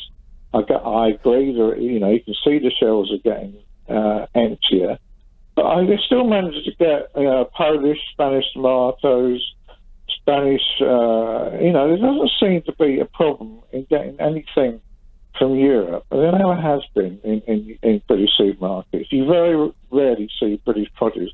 I don't see that Brexit has stopped, you know, European produce reaching uh, British supermarkets. Well, it's it's Uh, weird what is lacking. I mean, um, I, I went to get some porridge, and there wasn't. There was some porridge, but there wasn't the type that I like, which is from Ireland. Don't tell me why I like Oh. it. I just do. That's what I'm used to buying. And uh, Yeah. yes, there was none there. I went to the spirit section, and they didn't have any uh, Mexican tequila. So the shortages don't seem to make any uh, don't No, seem to make any don't. any I- I- sense I- as, as far as I- trading with Europe is concerned. But we don't just trade with Europe; we get stuff from uh, here, there, and everywhere, baby. Well, exactly, and I just think I just think that the whole Brexit pandemic thing has been combined. The people who want to blame Brexit will blame Brexit, and I think it's a combination of both. But I mean, going back to Christmas, I just think you know the idea that we're not going to get Christmas is just you know it's a way with the fairies, isn't it? I mean, But what, you know, why, why do you? I mean, uh, Christmas. don't have to Wait a minute. Chris, wait a minute. Christmas will come at the uh, specified time. But if you don't have a tree, which is what they've been saying, if you don't have a turkey, they've been saying that too. If you don't have um, your pork um, nibbles, and you've got no, and the, you got no toys that the you- kids wanted, you- then what? You, you, you don't seriously believe that. I know you don't because you're too intelligent. If I had told you a month ago, David, that people would be queuing and fighting with knives on petrol forecourts, then you wouldn't have believed me, would you? Well, no, because I, the British people have changed. They're not the British people that I know. I mean, I'm old. Oh, I'm long enough in the tooth to know that. Are you kidding me? Our, our entire history is one of extreme aggression. That's what we do for a living. Well, I, I, I'm old enough to remember the 70s. You know, um, in, you know when rubbish was piled, in, and people talk about Right. as if, oh, you know, it was it was worse now than it was then. I mean. I remember going to Leicester Square and the whole place was a rubbish dump. Yeah. I mean, it was I- just piled high. And was exactly. I mean, Yeah. Nobody has a clue what it was like who, didn't experience it. I mean, they've no idea. And inflation and everything else. I mean, you know, this is a cakewalk compared to the 70s. Let's Well, just wait. I mean, inflation has only just Well- started to tick up, and, and once uh, wages start to go through the roof, then Yeah, the inflation gonna- inflation seriously gonna will will Well. increase accordingly because someone's got to pay for it. Yeah, we well, we need inflation. We need some inflation on wages. Now, you know, people say, "Oh, wage inflation is bad." Well, I'm sorry, it's not for the people who, you know, haven't had a decent wage rise, is it? Anyway, I just think Christmas. You know, people don't. You know, I, I eat turkey, but I wouldn't. It wouldn't bother me if I didn't eat turkey this year. I'd have something else. I mean, it's Well, just ludicrous. like like what? Fish? Well, but yeah, people people eat all sorts of things at Christmas. Salmon, beef, pork, you name it. Yeah, I but mean- you know as well as I do that people start planning this kind of thing for about a month ahead of time, and they want their pudding, and they want their um, gravy, and they want their sprouts, and their parsnips, and their turkey, Yeah, and their roasties, I- and all the rest of it. Uh, but I, I thought I, I guarantee they will get them. I, I just don't. I mean, That's a the idea ridiculous thing to say. You can't possibly guarantee anything of the sort. What you mean is you think. But then I refer you back to my comment some moments ago that if I told you a month ago that people would be queuing for five hours to get petrol, then you would have told me I was off my head. Well, look around. Dave, I've got to go, but I, uh, I I appreciate your uh, your belief. He he believes.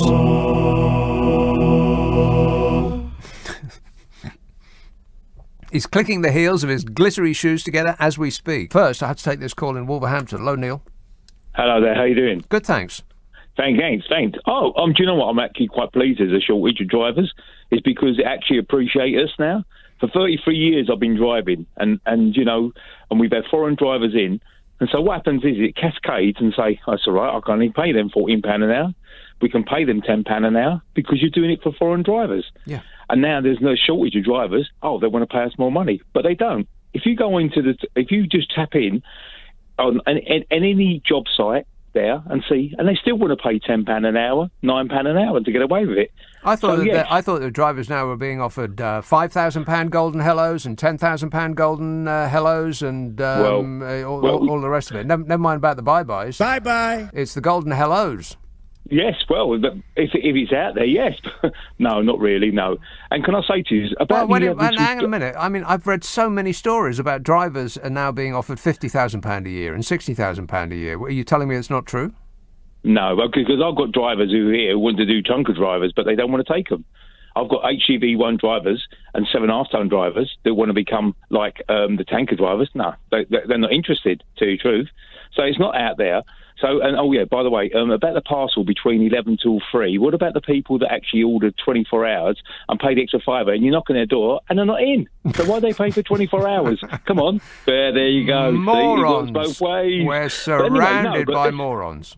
no, but but the thing is, at the end of the day, is that it, it is now uh, years, uh, whole years. I've been working long hours, hmm. unsociable hours, hmm. and it's not about the money. It's about quality of life, and they've never got it. And all of a sudden now, we're in the. I don't want to um, clap on a Thursday or pots and pans. Just recognise us, you know. It, it, it give us a decent wage, and that's all it is about. And now we recognise that oh, we haven't got enough drivers. No, the EU can't cope. So how? If they can't cope, how are we going to cope? Well, they're coping a lot better than we are. Well, if they are, that's that's their, that's their problem. But we got a problem over here, and we haven't got enough HGV drivers. So all the people out there, start putting your hands in your pocket and give us a bit of a more of a decent wage, some some good hours, and not working all that. What, what's the point of government putting up the hour, the driving hours? That, who does that benefit? Does that benefit the drivers, or does that benefit the companies? The government No, is running around like a headless chicken. They have got no idea what to do from one minute to, to the next. They just keep throwing these uh, ideas out, and um, let, let's see if this one sticks. And if, if that doesn't work, well, here, here's another one. And I mean, it's, it's just like they're rummaging around in the in the box of desperation for their next idea. That's right. So what's going to be? Oh, we'll be doing twenty hours a day. No, it's not. It's not about that. It's not about them. It's about quality of life and drivers working late, late, and everything, and, and they're parked up and things like that. They don't see their families. They don't see, and it, and that's what it's all about. It's about quality of life. And the money. drivers today don't get it. And now a little bit of money. we're going to be standing up. We'll be pots and pans on a Wednesday, banging for for drivers. Right. Okay. Um. Well, that that should be our new uh, national slogan: "Banging for drivers." Thanks a lot, Neil. Um. Cambridge, Argon. Nick, hey. Hey. How are you? Great, mate. Fantastic, fantastic. Yeah, I think we're going to have to grow our own food for Christmas. Yeah, a little bit too late now. Unfortunately, if you plant it now, will not be ready by December. That's true, but maybe it'll have to be half ready. You know, it might be the best that we have to do. Yeah, we're doing our best. Yeah, but at least there'll be less meat, more vegetarian, so that'll be better for the environment. Well, it'll be less food. That's true. Yeah, yeah, but like like you say, Chris Thunberg will thank us for it. Yeah, that's right. Yeah, Well, we all need to lose a, a, couple of three pounds. Yeah. I mean, just uh, think about a salad once in a while for crying out loud. Yeah, exactly. But I can't have that for a lunch. I mean, a salad for a lunch is just awful. Well, when, when would you when would you have a salad? Uh, with with my lunch. Oh, with your lunch. Exactly. Right, yeah. a side dish. A side dish, yes. Right. Well, well, what's the main course then for lunch? Uh, well, it depends. Um, a lasagna maybe, For but, but not like possibly, yeah, but a veggie lasagna. well, what do you have for dinner? Like a whole cow? No, like a, a whole chicken. A whole chicken? What? All of it? You just pop it in it in your mouth like a lollipop and suck the meat right off it. well, no, you could cut it up into big bits. you Oh, know, that makes more pieces. sense. Yeah, that makes more sense. Yeah, exactly. A whole chicken. yeah, a whole chicken would be it'd be a bit difficult to eat all in one go. Right. Yeah. Well, you, like small mouthfuls, and you'll be able to uh, get through it. in, Exactly. What, like three, Although- four, four minutes. That's true, but I don't know about you, Nick. You you might be able to do it. Uh, well, that's a very personal question, uh, Argon. and has absolutely nothing to do with you. But thanks for the call. Beaconsfield. Hello, Darren. Hello, mate. Um, yeah, so I was just calling. I was talking to your producer. Uh, I was um, actually I was canvassing with uh, back in the Jeremy Corbyn campaign. I, I did a, a stint of canvassing alongside Keir Starmer in Acton uh, years ago, and and it, he was a lovely bloke. He was so down to earth, and I feel like he kind of just like lost the plot, and he got a bit kind of like Hollywood eyes or something like that. Hollywood? He just he, What do you mean? I don't know. He's, he's, he's a bit a bit too kind of plastic these days. He's, it's like he's trying to do the whole kind of like, you know, being like a, a, a much more generic archetypal leader. But like he, he's just he was much more kind of I don't know relatable when I when I met him. And the thing is, But what- i- what is that is that because but is that because you were actually talking to him face to face rather than seeing him on TV? Yeah, yeah, yeah. That of course that's going to be in there for sure. But you know what? I, I've been thinking because I've been on a few of these campaigns now, and what I was found like really interesting was in the mayoral election was that there was you know a couple of young guys who were who were just kind of Instagram celebrities or something, and then they did really well in the in the mayoral election. And I think like you know what's happening in America with like Donald Trump, and I think like Dwayne the Rock Johnson or something is like um, is going up for presidency or whatever. Like you know, he's like celebrities and all this kind of stuff. I think we're missing a trick in this country. Honestly, I feel like what these people understand that Starmer and Johnson, all these people don't, is the power of mythology, mate. Right? So like they they they know how to capture people who go and watch Marvel films and go and watch Lord of the Rings and all that because they're trying to sell them a mythology. And we're not getting that in this country. And I'm not saying that's that's a good thing, but I just wouldn't reduce it down to just oh, you know, in the entertainment world now. I think these guys are onto something. Do you know what I mean? You think Americans are onto something by having uh, actors uh, be- become uh, president? Well, they're capturing people's imaginations. I don't know. Like, I just, I I mean, it just always strikes me like, who, who can we get for prime minister now? Like, you know, we talk about Starmer and Johnson, all this lot. Hmm. I mean, who? What? Craig David? I mean, I, I'd vote for Craig David if he ran for prime minister.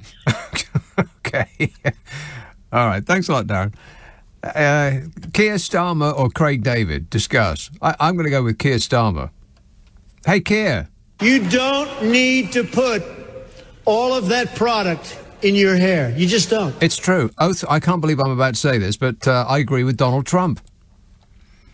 Thanks a lot, Darren, for whatever that was. Wembley. Hello, Linda. Hello. Linda. Common sense. The government hasn't got any common sense. No. There's if nothing. they were negotiating Brexit, right, they should have thought, well, we're going to need certain people until we train our, our own lorry drivers, for example. Yeah. So they should have said, okay, as part of Brexit, workers that we need, we will give them a visa to come and work here. Unfortunately, Linda, that's not what uh, won Brexit. What won Brexit was promising people fewer foreigners.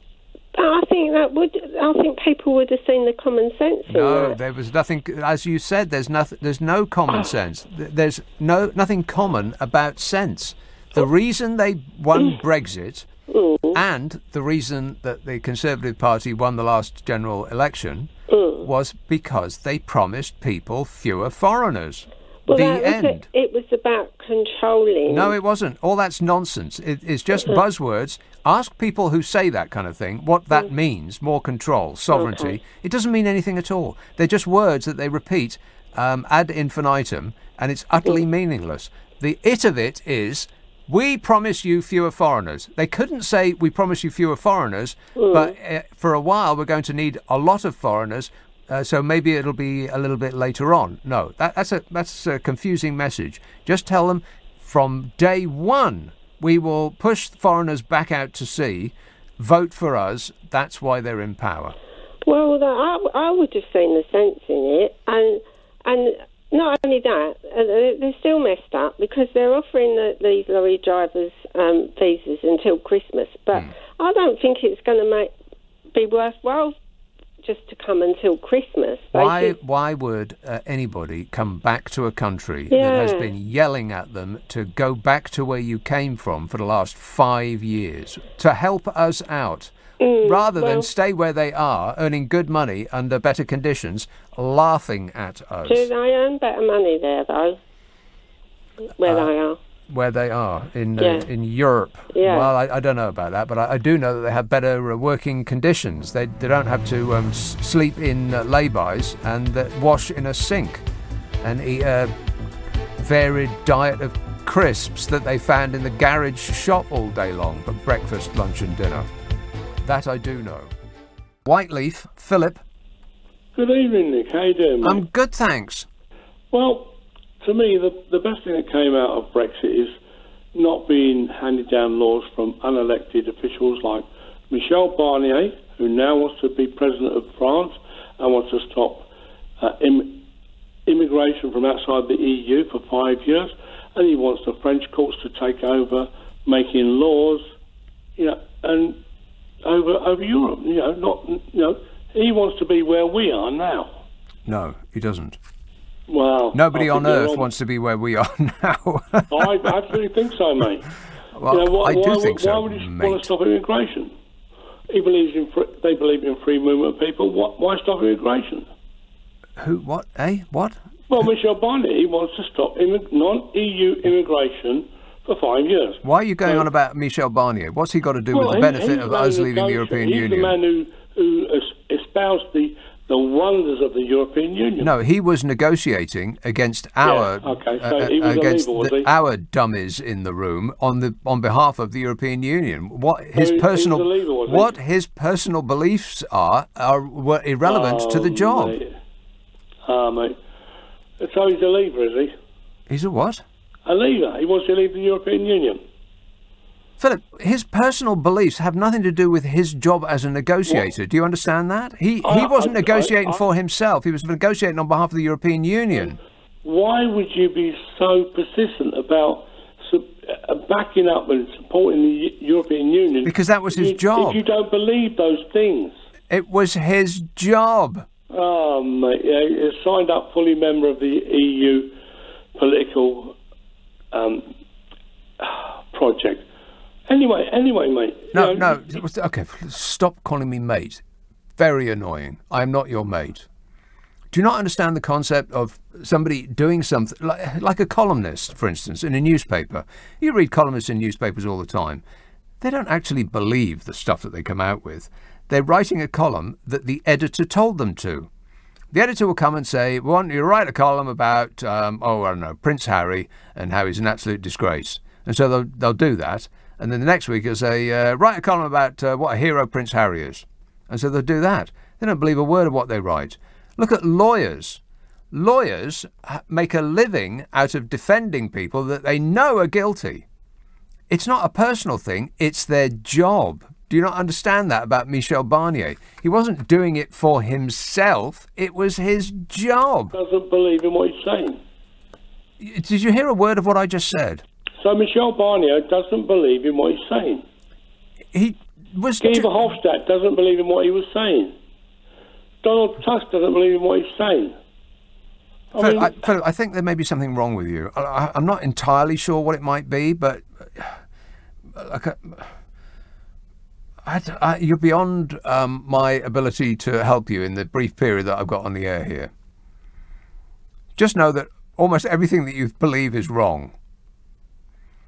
And uh, don't make me repeat what I just said about lawyers and uh, and uh, Michel Barnier doing a job. It was his job. He wasn't making it up as he went along. He had instructions.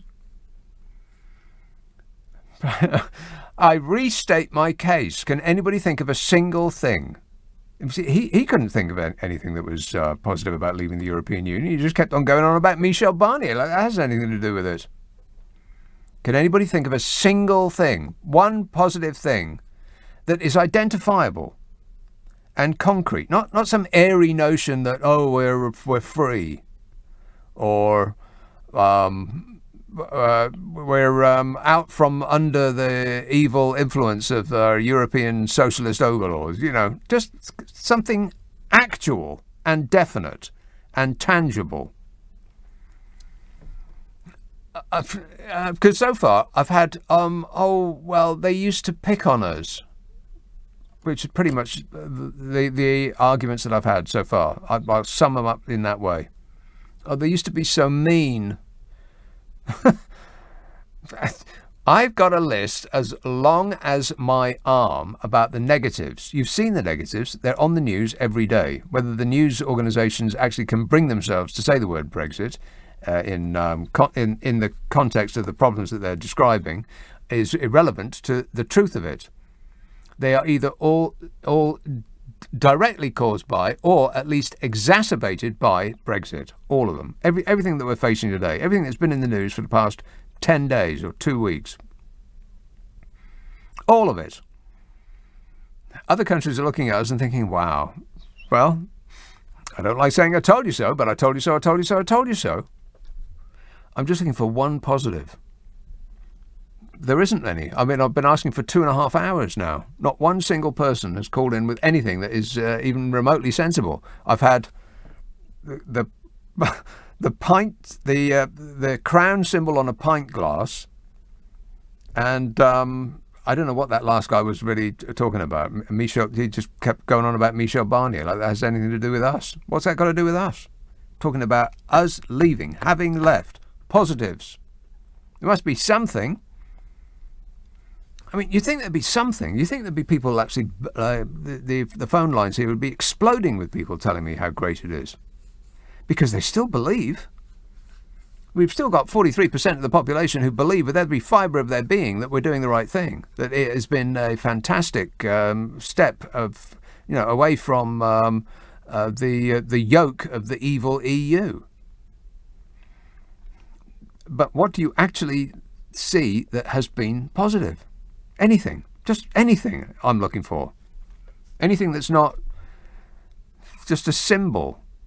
Like, oh, we got our uh, blue passports back. Well, we could have had those when we were in the EU. Just one single thing. Please, I'm begging you, put me out of my mystery. Watford. Hello, Arif. Hi there. This is first time caller. Thank you very much for taking my call. Thank you for making your call. Lovely. Right. I would like to give my input on the labor crisis we were discussing earlier. Right. right. I don't really don't know where to start from because there is so much going on in my head. Right. Okay. I'm running two small businesses, right? Mm. Been in the UK for 17 years.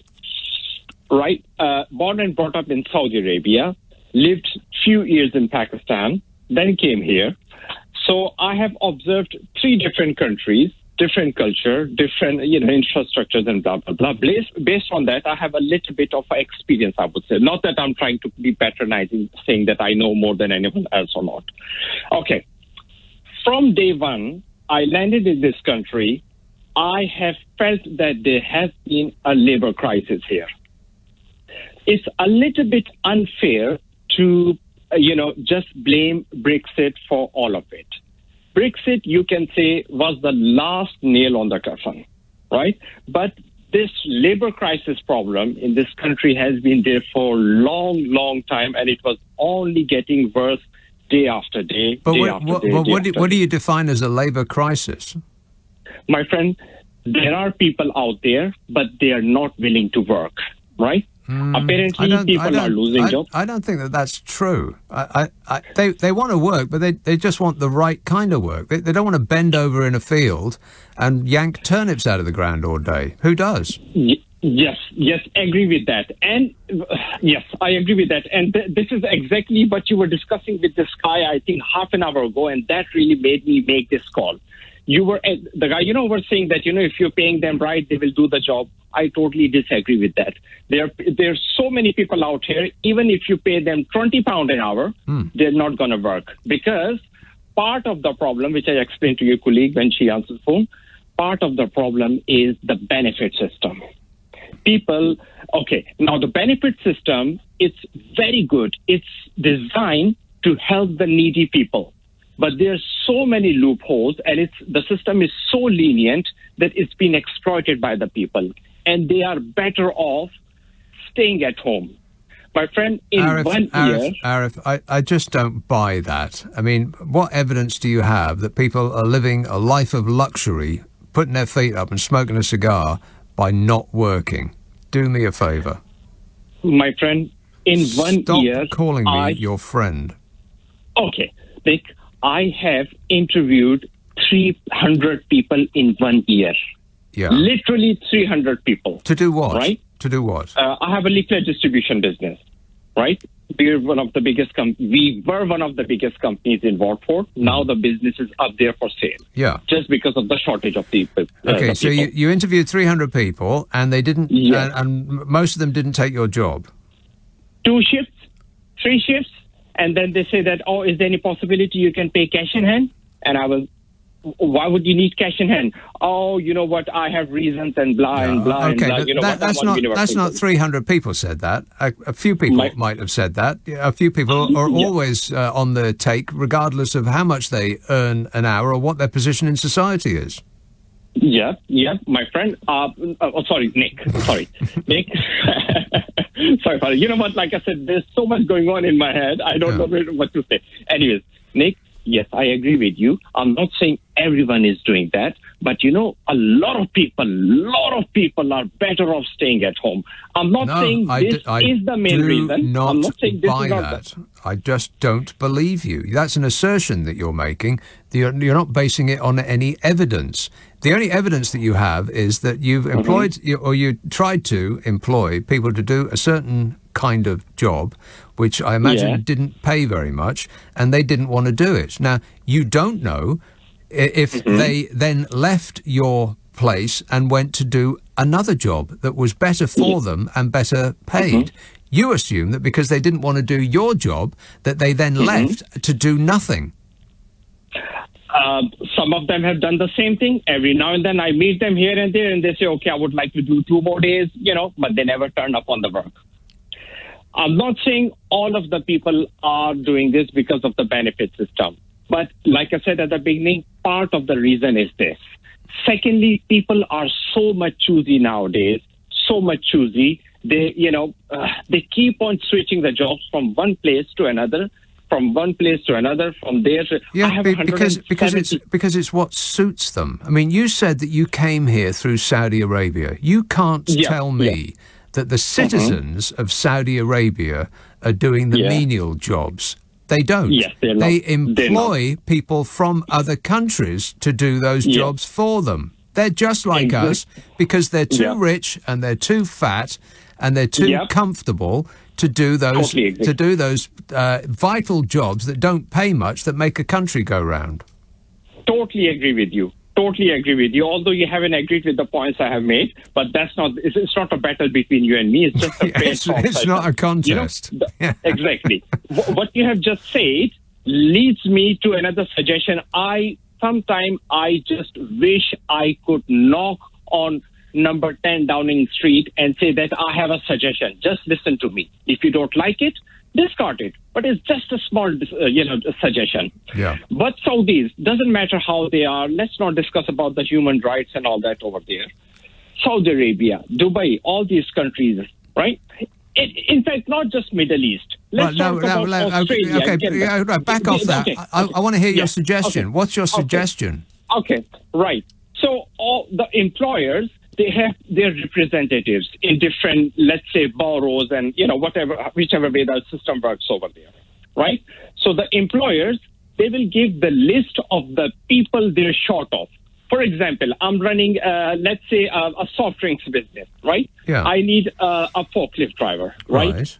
I um, okay. Uh, I need someone who should know how to use that specific machine which wraps the drinks, right? Yeah. Okay. But what So do you what do? What do do you is- what what do you do with the list? Uh, okay, you provide the list to your representative of that area, right? Now that representative passes on that list to the government. Let's say Saudi government, right? Now Saudi government advertise it worldwide. Now it could be someone from Philippines, it Yeah. could be someone from Pakistan. Can I can I stop you there, Arif? The government is Yeah, yeah, ideologically opposed because they think their fans want it this way. That that that no foreigners will set foot on this country. Sorry, can you rephrase that? Sorry. Uh, no, if, if you, well, I'll try briefly because sorry, yes, yes, I'm. I'm right up against the news. But there's no point in advertising um, menial jobs internationally. That, that's the reason that we're in this place in, uh, to begin with. It's because people thought that, oh, they're coming over here and they're taking our jobs and blah, blah, blah, blah, blah. The government is not going to do anything about it if it involves bringing people from other countries to this country to fix the problem. Because that's the reason that they're in power, is because they offered the opposite of that to say goodbye to all of those people that were doing the jobs that made this country go round. Because we thought we'd be better off when they left. Comes to find out, the opposite's true. But anyway, um, I appreciate the call there, uh, my friend. Thanks for that, Arif. Rushton, Colin. Hello. Colin. I'm quite surprised that the media aren't getting hold of us because the fact is, an HCV driver cannot turn up at a petrol station with a tank of fuel. They're a very specialised trade. They need a licence to do it. All, all, all I'm hearing is, oh, we've got no HCV drivers, no fuel. That's nothing to do with the fuel shortage. The fuel shortage is down to idiots who think, I'm going to go and fill my car up because the media banged on about BP having 45 stations shut. And it's ridiculous. You people should be telling people there is no shortage, but you bang on and on and on about there's a shortage. Colin, I passed, I passed nine stations on the way in. and, yeah, why? uh, because you lot haven't said, you lot have reported false news. No, it's not. False. It's, it's not false news. If you cannot get petrol, there is a petrol shortage. So I know. I know. I know enough petrol. I know enough petrol exists. It's just not in the right place. Hang on, Nick, why'd you put it down to the Tory government? What would you uh, prefer me What to I put do? it down to the Labour government? We're, right, we're, we're 100,000 lorry drivers short. Yes. Those 100,000 lorry drivers can't deliver and dispose of petrol in petrol stations. No, but but in, in- of of course it is. In among those Of course hundred, not. They of they course it is. Wait a minute. In, in among those hundred thousand that we are short of, there are specialists who do this ju- who do this work. No, you're right. You're, you're completely hundred. I, I had a conversation with a company in Kettering yesterday, who are lorry uh, haulage company. It's got nothing to do with that. This is an absolute farce. They're telling me haulage company, and they're going to be starting me in a job in about a week, two weeks. It's a joke. A haulage company told you that the lack of drivers that we have in this country has nothing to do with Brexit. No, they told me the petrol shortage is nothing to do with this. It's uh, they said to me it's an absolute farce, and the media play it, and all all the British people have done is said, "Oh, hang on, I ain't going to get to work on Monday. I know what I'm going to do. I'm going to go sit in a petrol station queue for an hour." Yeah. Well, It's if, if they if they can't get to work on Monday, then it's not an ir- irrational thing to do, is it? I mean, you ca- you can't get around it. It it might have been an irrational response at first, but once you see um, petrol stations run out, and the next one's run out, and the one after that's run out, and the one after that's got 100 cars queuing to get in, well, then we've got a problem. Then it's not an irrational thing to want to fill your car up because you have no idea when this problem is going to be solved. I mean, it could be solved next week, might not be, might be two weeks. Might be a month. We've got no idea. There's there's absolutely no uh, reason to um, to uh, suspect the best. Uh, let's have a call in um, St Ives. Hello, Brenda. Hello, Nick. Brenda. Nick, Brenda. I I cannot believe I've just heard that on the news a warning's been put out that there will be no pigs in blankets. No pigs in blankets. Warning, warning. And Yes. Nick, you won't be able to have your cuddly teddy bear. And Nick, you won't be able to have a pumpkin at Halloween. No. I mean, what a disaster. It's worse than that, though, Brenda, because what was what the newsreader failed to mention was that we might not have any fireworks on Guy Fawkes night. Hooray! huh? Hooray!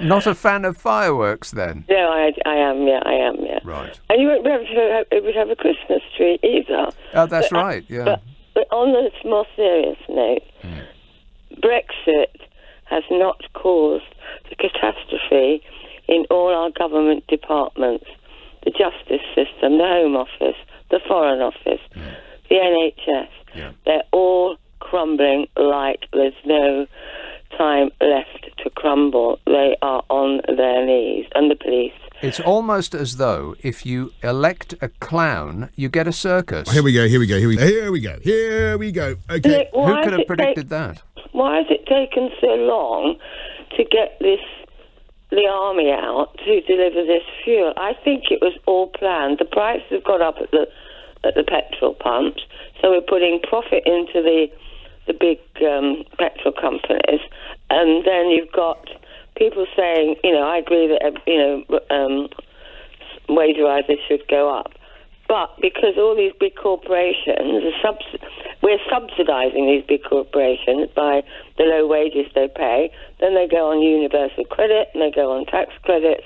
So the taxpayer in the end pays Yeah. for the for this. So the corporations, and I believe that this government wants to virtually crucify the economy, all small businesses, um, and the corporations will just uh, rule the roost. That's how I see it. Yeah, the, right. yeah, Under this scenario, then the all small businesses will become economically unviable, and Mm. large multinational corporations will just sweep in, pick Yeah. up a lot of them for a song, and um, we'll be left with like three companies that, that make everything. But we're going to be run by these big corporations, these oligarchs, these bankers, these all the rich. We're going to be controlled by these huge global corporations. It's it's evident, and I just think this this government is hell bent on bringing this economy back down again. I mean, the fuel disaster was like a fuel like a lockdown. Virtually, people didn't get to work. Teachers, nurses, hospitality, care workers. It was almost like a semi-lockdown, and I just think it's all been planned because it's preparing us for another lockdown. I think. And how is it that for the last three weeks we've heard nothing about COVID? The infection Hmm. rates have been up in the 36,000. I think there's 32,000 today. Well, But we've heard absolutely nothing. well, so I don't. I don't think that that's necessarily a, a government plot. I think it's more that the, the the news cycle has moved on a bit. There's nothing really major to report at the moment. Um, so we're just, you know, the news. That new is the most important part of the word news. Well, like pigs in blankets. Yeah, I guess so. Then we'll concentrate on that now. Yeah. All right. I gotta go. Thanks a lot, Brenda. Uh, great Yarmouth. Hello, Matthew. Hello. Um, I've yeah been listening to a lot of um, a lot of uh, comments in, in regards to Brexit. So um, I think, like for me, I'm a 30 year old male that didn't have the opportunity to uh, vote whether we joined or left during uh, 45 years of uh, being part of the EU. So um, I relished in the opportunity to uh, vote at the time. Um, Relish. Listen to a lot. Yeah, listen to a lot of uh, arguments for remain and leave, and you know, I've come back and we're still having the same arguments and same debate after voting nearly out for five years now. But I think for me, probably like probably one of the benefits is that holding the, the government to more accountability and really having checks on food coming into the country. Like I, I wait, remember wait, when wait, um, wait, wait, wait, wait. Checks on food coming into the country. Yeah. Well, we didn't have that before. No, we didn't. Not when we were part of the EU, but you know, we We yeah, didn't you know, have I've- checks No. on food when we were part of No, the EU. no, but there wasn't no border between, um, you know, the UK or Europe. There, there wasn't no such checks in there. You know, Poland Yes. can send their chickens over to us for you know relief. That's the whole point of being part of the single market. Yeah, but there were So, um, there were standards that all of the countries had to adhere to. So the checks. They weren't always met. I, I only watched a, a news thing on ITV the other night about how some uh, dodgy chicken meat come through from Poland when we were part members of well, the we EU, used to sell uh, of horse meat as we used to sell horse meat as beef. That had nothing to do with We, the EU. I don't think we did personally, but I think we probably bought the meat that was probably from the EU country that was horse meat, but we it wasn't our horses in the meat. How do you know that? well, I, I can I can assure you that I They wouldn't all be British. spoke British with a foreign accent. Yeah, sure they did. Yeah. but um, like for me, like just yeah, having like a bit of independence, like. I, I Are to you kidding I, me, you know, Matthew? seeing what- Independence. Independence. What what does that mean? the Independence. Independence. Descri- describe the independence that we have think- now that we didn't have. I think have having then. the ability to hold our MPs um, to account a little bit better. In I've what manner have we been able tried to hold Boris Johnson and this cast of clowns to account? Tell me how we would do you can, that. I'm sure on a daily basis you can go and contact your MP and you can take a, numerous amounts of issues to them and they'll Yeah, take it and you know how much attention they would pay to that. I mean, if you call, if you were in Boris Johnson's constituency and you complained about any and everything that he's doing, you know how much attention he would be. You know how much time he would give you. He wouldn't even show up. He, he probably couldn't find Uxbridge with a sat nav. Are you kidding me? He probably couldn't know, but he's a career politician. But uh, yeah, Yeah, like in a, nut, in, a- he- in a nutshell, that's that's exactly right. He is a politician. In well, he's a showman, and that's that's the extent of his ability to do the politics part, to get on stage and get an audience laughing and paw, you know, pretend to be Churchill and all that. When it comes to doing that bit, he's very good when it comes to doing the actual job that he was um, applying for, hopeless. He's great in the application, in the actual job part, not a clue. And there's zero chance of holding him to account. Battersea, Jake. Jake. Yes. Hi, Nick. How are you? Good, thanks. Good. I haven't I haven't listened to you for a long time, and I heard you in Milan. I, I used to listen to you before 2016, Oh, yeah. but but then you went all anti-Brexit, and Ah. I'm afraid I'm a great Brexiter. You're a, Uh, you're a great Brexiter? I'm I'm very very fond of it, and and you're Which, which bit are you most fond of? I'm very very fond of having cut away from the EU, being able to. But that, that's just uh, the idea I'm- of Brexit. Which which bit of uh, what's um, come to Well, I- pass since then are you most fond I'm- of? I must say, I'm not a huge fan of the vaccine rollout, but That- that that often has nothing to do with that is Brexit, though. often, That is often used as an example But, it, but it's nothing to do with Brexit, But- the, Brexit, also- vaccine okay, rollout. So what is it since we've left more- the European Union? More Sin- widely forging forging a relationship with Australia and, and America, building building those Uh, No, submarines. in hang on, hang on. Whoa, whoa. Are you, are you saying that we didn't used to trade much with America? Uh, we uh, used to trade a great deal. We have always traded a great deal, and we will Yeah. continue to trade, uh, Right, trade so- so deal. there's no- there's no free difference there, trade free trade agreements are noise. They're, they're of no benefit to anyone, really. A free trade agreement is of no benefit to anyone. Is It that is that your a- is that your position? No, it's not actually. Having having just taken, uh, no, that isn't quite my position. But I, I just think that Brexit is going to work. Jake, you can't come up with a single thing that's that you that even a great Brexiter such I- as I'm- yourself, I'm you down- can't think I'm of down in- one single in- positive thing that's happened so far, can you? around the coasts of Devon, where we're not getting those bloody great trawlers sucking the ocean dry. Yeah, there are some good things. We're going, uh, growing kelp down there. We're, we're, we have We're great. growing kelp. Are you kidding me? What kelp did not grow in water previous to us leaving the European Union? What? I'm just curious. Is this a, a parody vast, call? vast- uh, look, I, this isn't a parody call. Of course, it isn't a parody call. I know, but uh, we can look one Jake, way or what, another. what do you what do you do for a, My- li- what do you do for a living, Jake? Please don't say teacher.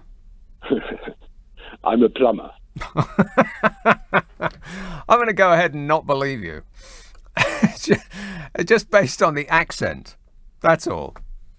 I've never known a plumber to speak like you. I mean, it does sound as you as though you have plums in your mouth, but that's different. Ealing. Hello, Jennifer. Good evening. Um, my take on this is um, we've read in the paper, we've heard it on your program on the television, that the DVLA is thousands and thousands of licenses, renewable licenses, behind. Mm. Now, no one is addressing this, and a load of these must be HGV drivers. Now, why, if the country is back up and running, as we were told it is, why are these DVLA people not back at work? And I, I, my take on this is because they have a union behind them, the same as the NHS, the same as the education system, um, whereby the hospitals aren't up and running, the doctors aren't up and running, the schools keep putting up a spanner in the works, and the the union is trying to is running the country and trying to bring the country to its knees by stopping all these people from doing a job they're being paid to do. Also, there's probably a lot of um, HGV drivers perhaps still on furlough till the end of September. I don't know if if they've been given furlough money or, or not.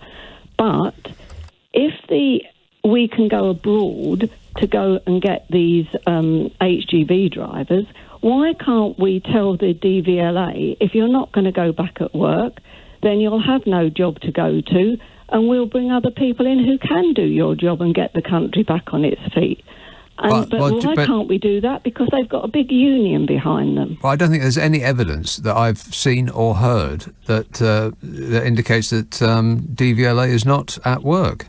Be- Well, they it's say an- it's just an assumption. uh, There's been numerous. I've read lots and lots of uh, letters in the paper where they say they're waiting months. yeah, there's a months. backlog. Yeah. So, so w- what is the reason for that? If it's all Well, we, running we've just gone through. We've just gone through a pan, We've just gone through a pandemic, Jennifer. I mean, Well, I all, all, all sorts of businesses have been uh, people have managed to upended. we, other people have managed to keep working, haven't they? Well, you, you've just given us a you just given us a massive list of uh, of those occupations that haven't managed to uh, keep working as normal. They, they want to put every every obstacle in the way so they don't have to go back to work because it, But, it but you, the there is no down. there is no evidence that they are not going back to work or have not been at work.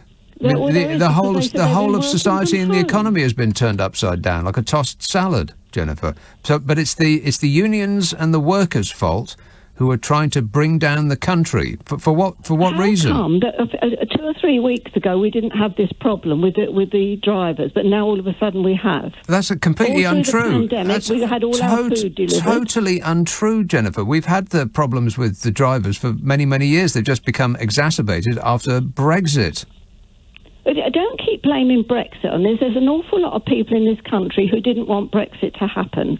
And there's an awful lot of ways of putting a spanner in the works surreptitiously. And that is what's going on now because it seems funny that all of a sudden the whole country is imploding.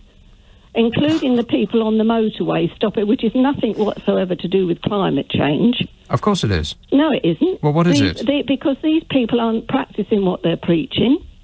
But they're not interested. They're only interested in bringing the country to a standstill and disrupting people's lives. No one, uh, But why, why would they be only interested in that? Je- Jennifer, can I recommend that you stop reading the internet? Just get off Facebook. Stop reading Twitter. Actually, Twitter's probably not at fault here, is it? It's, prob- it's probably more Facebook. Long form uh, conspiracy theories. It's not doing you any good, uh, Jennifer. I, I don't think that there is some sort of um, underground plot to bring down the country. It's like the Conservative Party is hitting us in the head with a shovel while saying that our safety is their top priority. Unless I'm getting it wrong, in which case you can correct me. 0345 6060 973. Selby. Paul. yes, uh, nice analogy, Nick. Uh, I like that.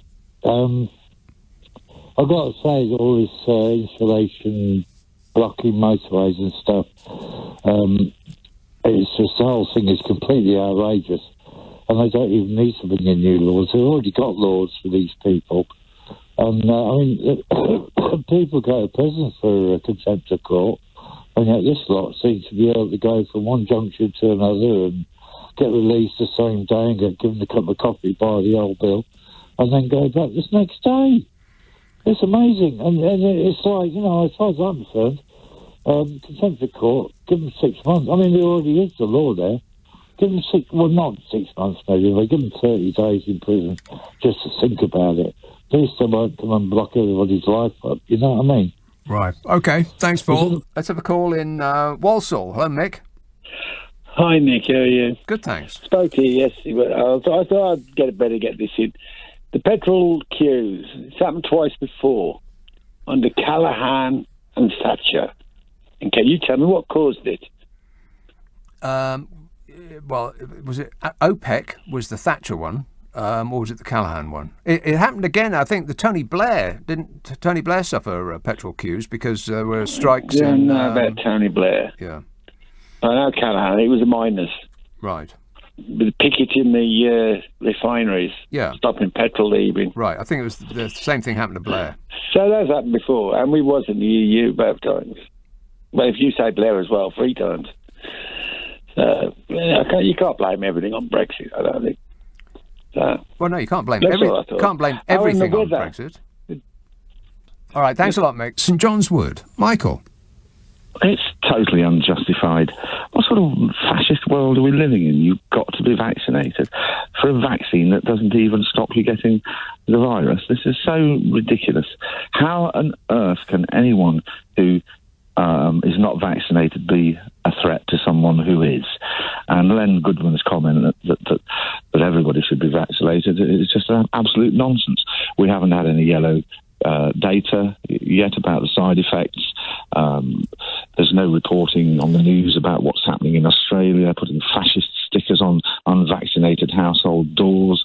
I mean, that, that's well, it's been on LBC, thank, thankfully, but, and, and you're doing your bit um, um, to, to hopefully get some yellow data re- released and some truth uh, um, discerned um, um, into this COVID mess. But they, they, they can't seem to put the shovel down. They keep digging the hole bigger. The lie becomes more and more hollow. Um, you know, truck drivers, HGV drivers lumped in with tanker drivers. They're two different animals. It's like comparing a greyhound to a horse. A tanker, a tanker driver has to go through Whoa, special whoa, whoa, whoa, Nelly. tra- training. We're, yeah, we're, we're not. know. we're not talking about that anymore. We're talking about the Well, I'm- vaccine. what I'm saying is, what I'm saying is, everything is starting to, port, to, to, to point to different countries clutching other countries' lies. That there's a, a truck dri- driver shortage in the EU, UK, Right, uh, and USA uh, all simultaneously. Okay, again, not the issue in this hour, but um, thanks for that confusing um, missive. Tynemouth, David. Yes, good, good evening. Yes, David. Yeah, yeah, I'm a Brexiteer. I've voted Conservative all my life. In my working life as a head of a head of a FE department, I had Head of, a, head of a what? A, a, a department within a college of further education, Oh, yeah. and we had extensive links, exchange programs with ten countries in the common market. So I was, I am fully aware of the advantages, but also the disadvantages of the European dimension. But my concern, is, well, not my concern, but the, yes, it is a concern that what we have found is that if when Boris came in, it was just a single issue that was on. Uh, perhaps some thought about the uh, global warming, but nobody, but nobody anticipated this uh, vaccine uh, problem and the and nobody in the world, no country in the world has got it sorted out.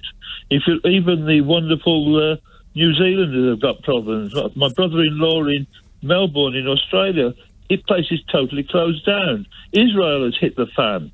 French, God only knows what's happening there, and everybody has got the same, similar, different. But what's your different what's your point, though, David?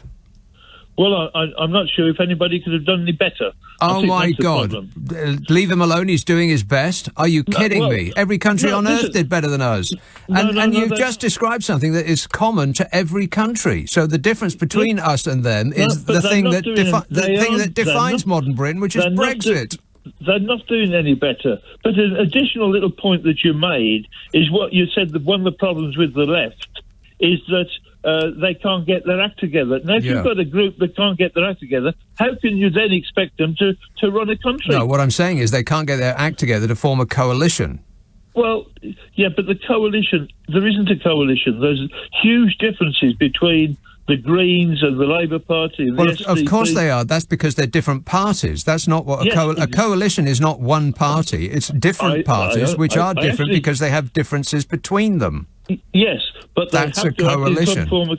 yeah, of course, I understand that. I'm not uh, totally dim, but if you look at the uh, fairly dim, obviously compared with you, but then you are God Almighty. Oh, well, that is true. Yeah, I, I am That God Almighty. you- you- yeah. Yeah, I am God Almighty. Yeah, so play the music.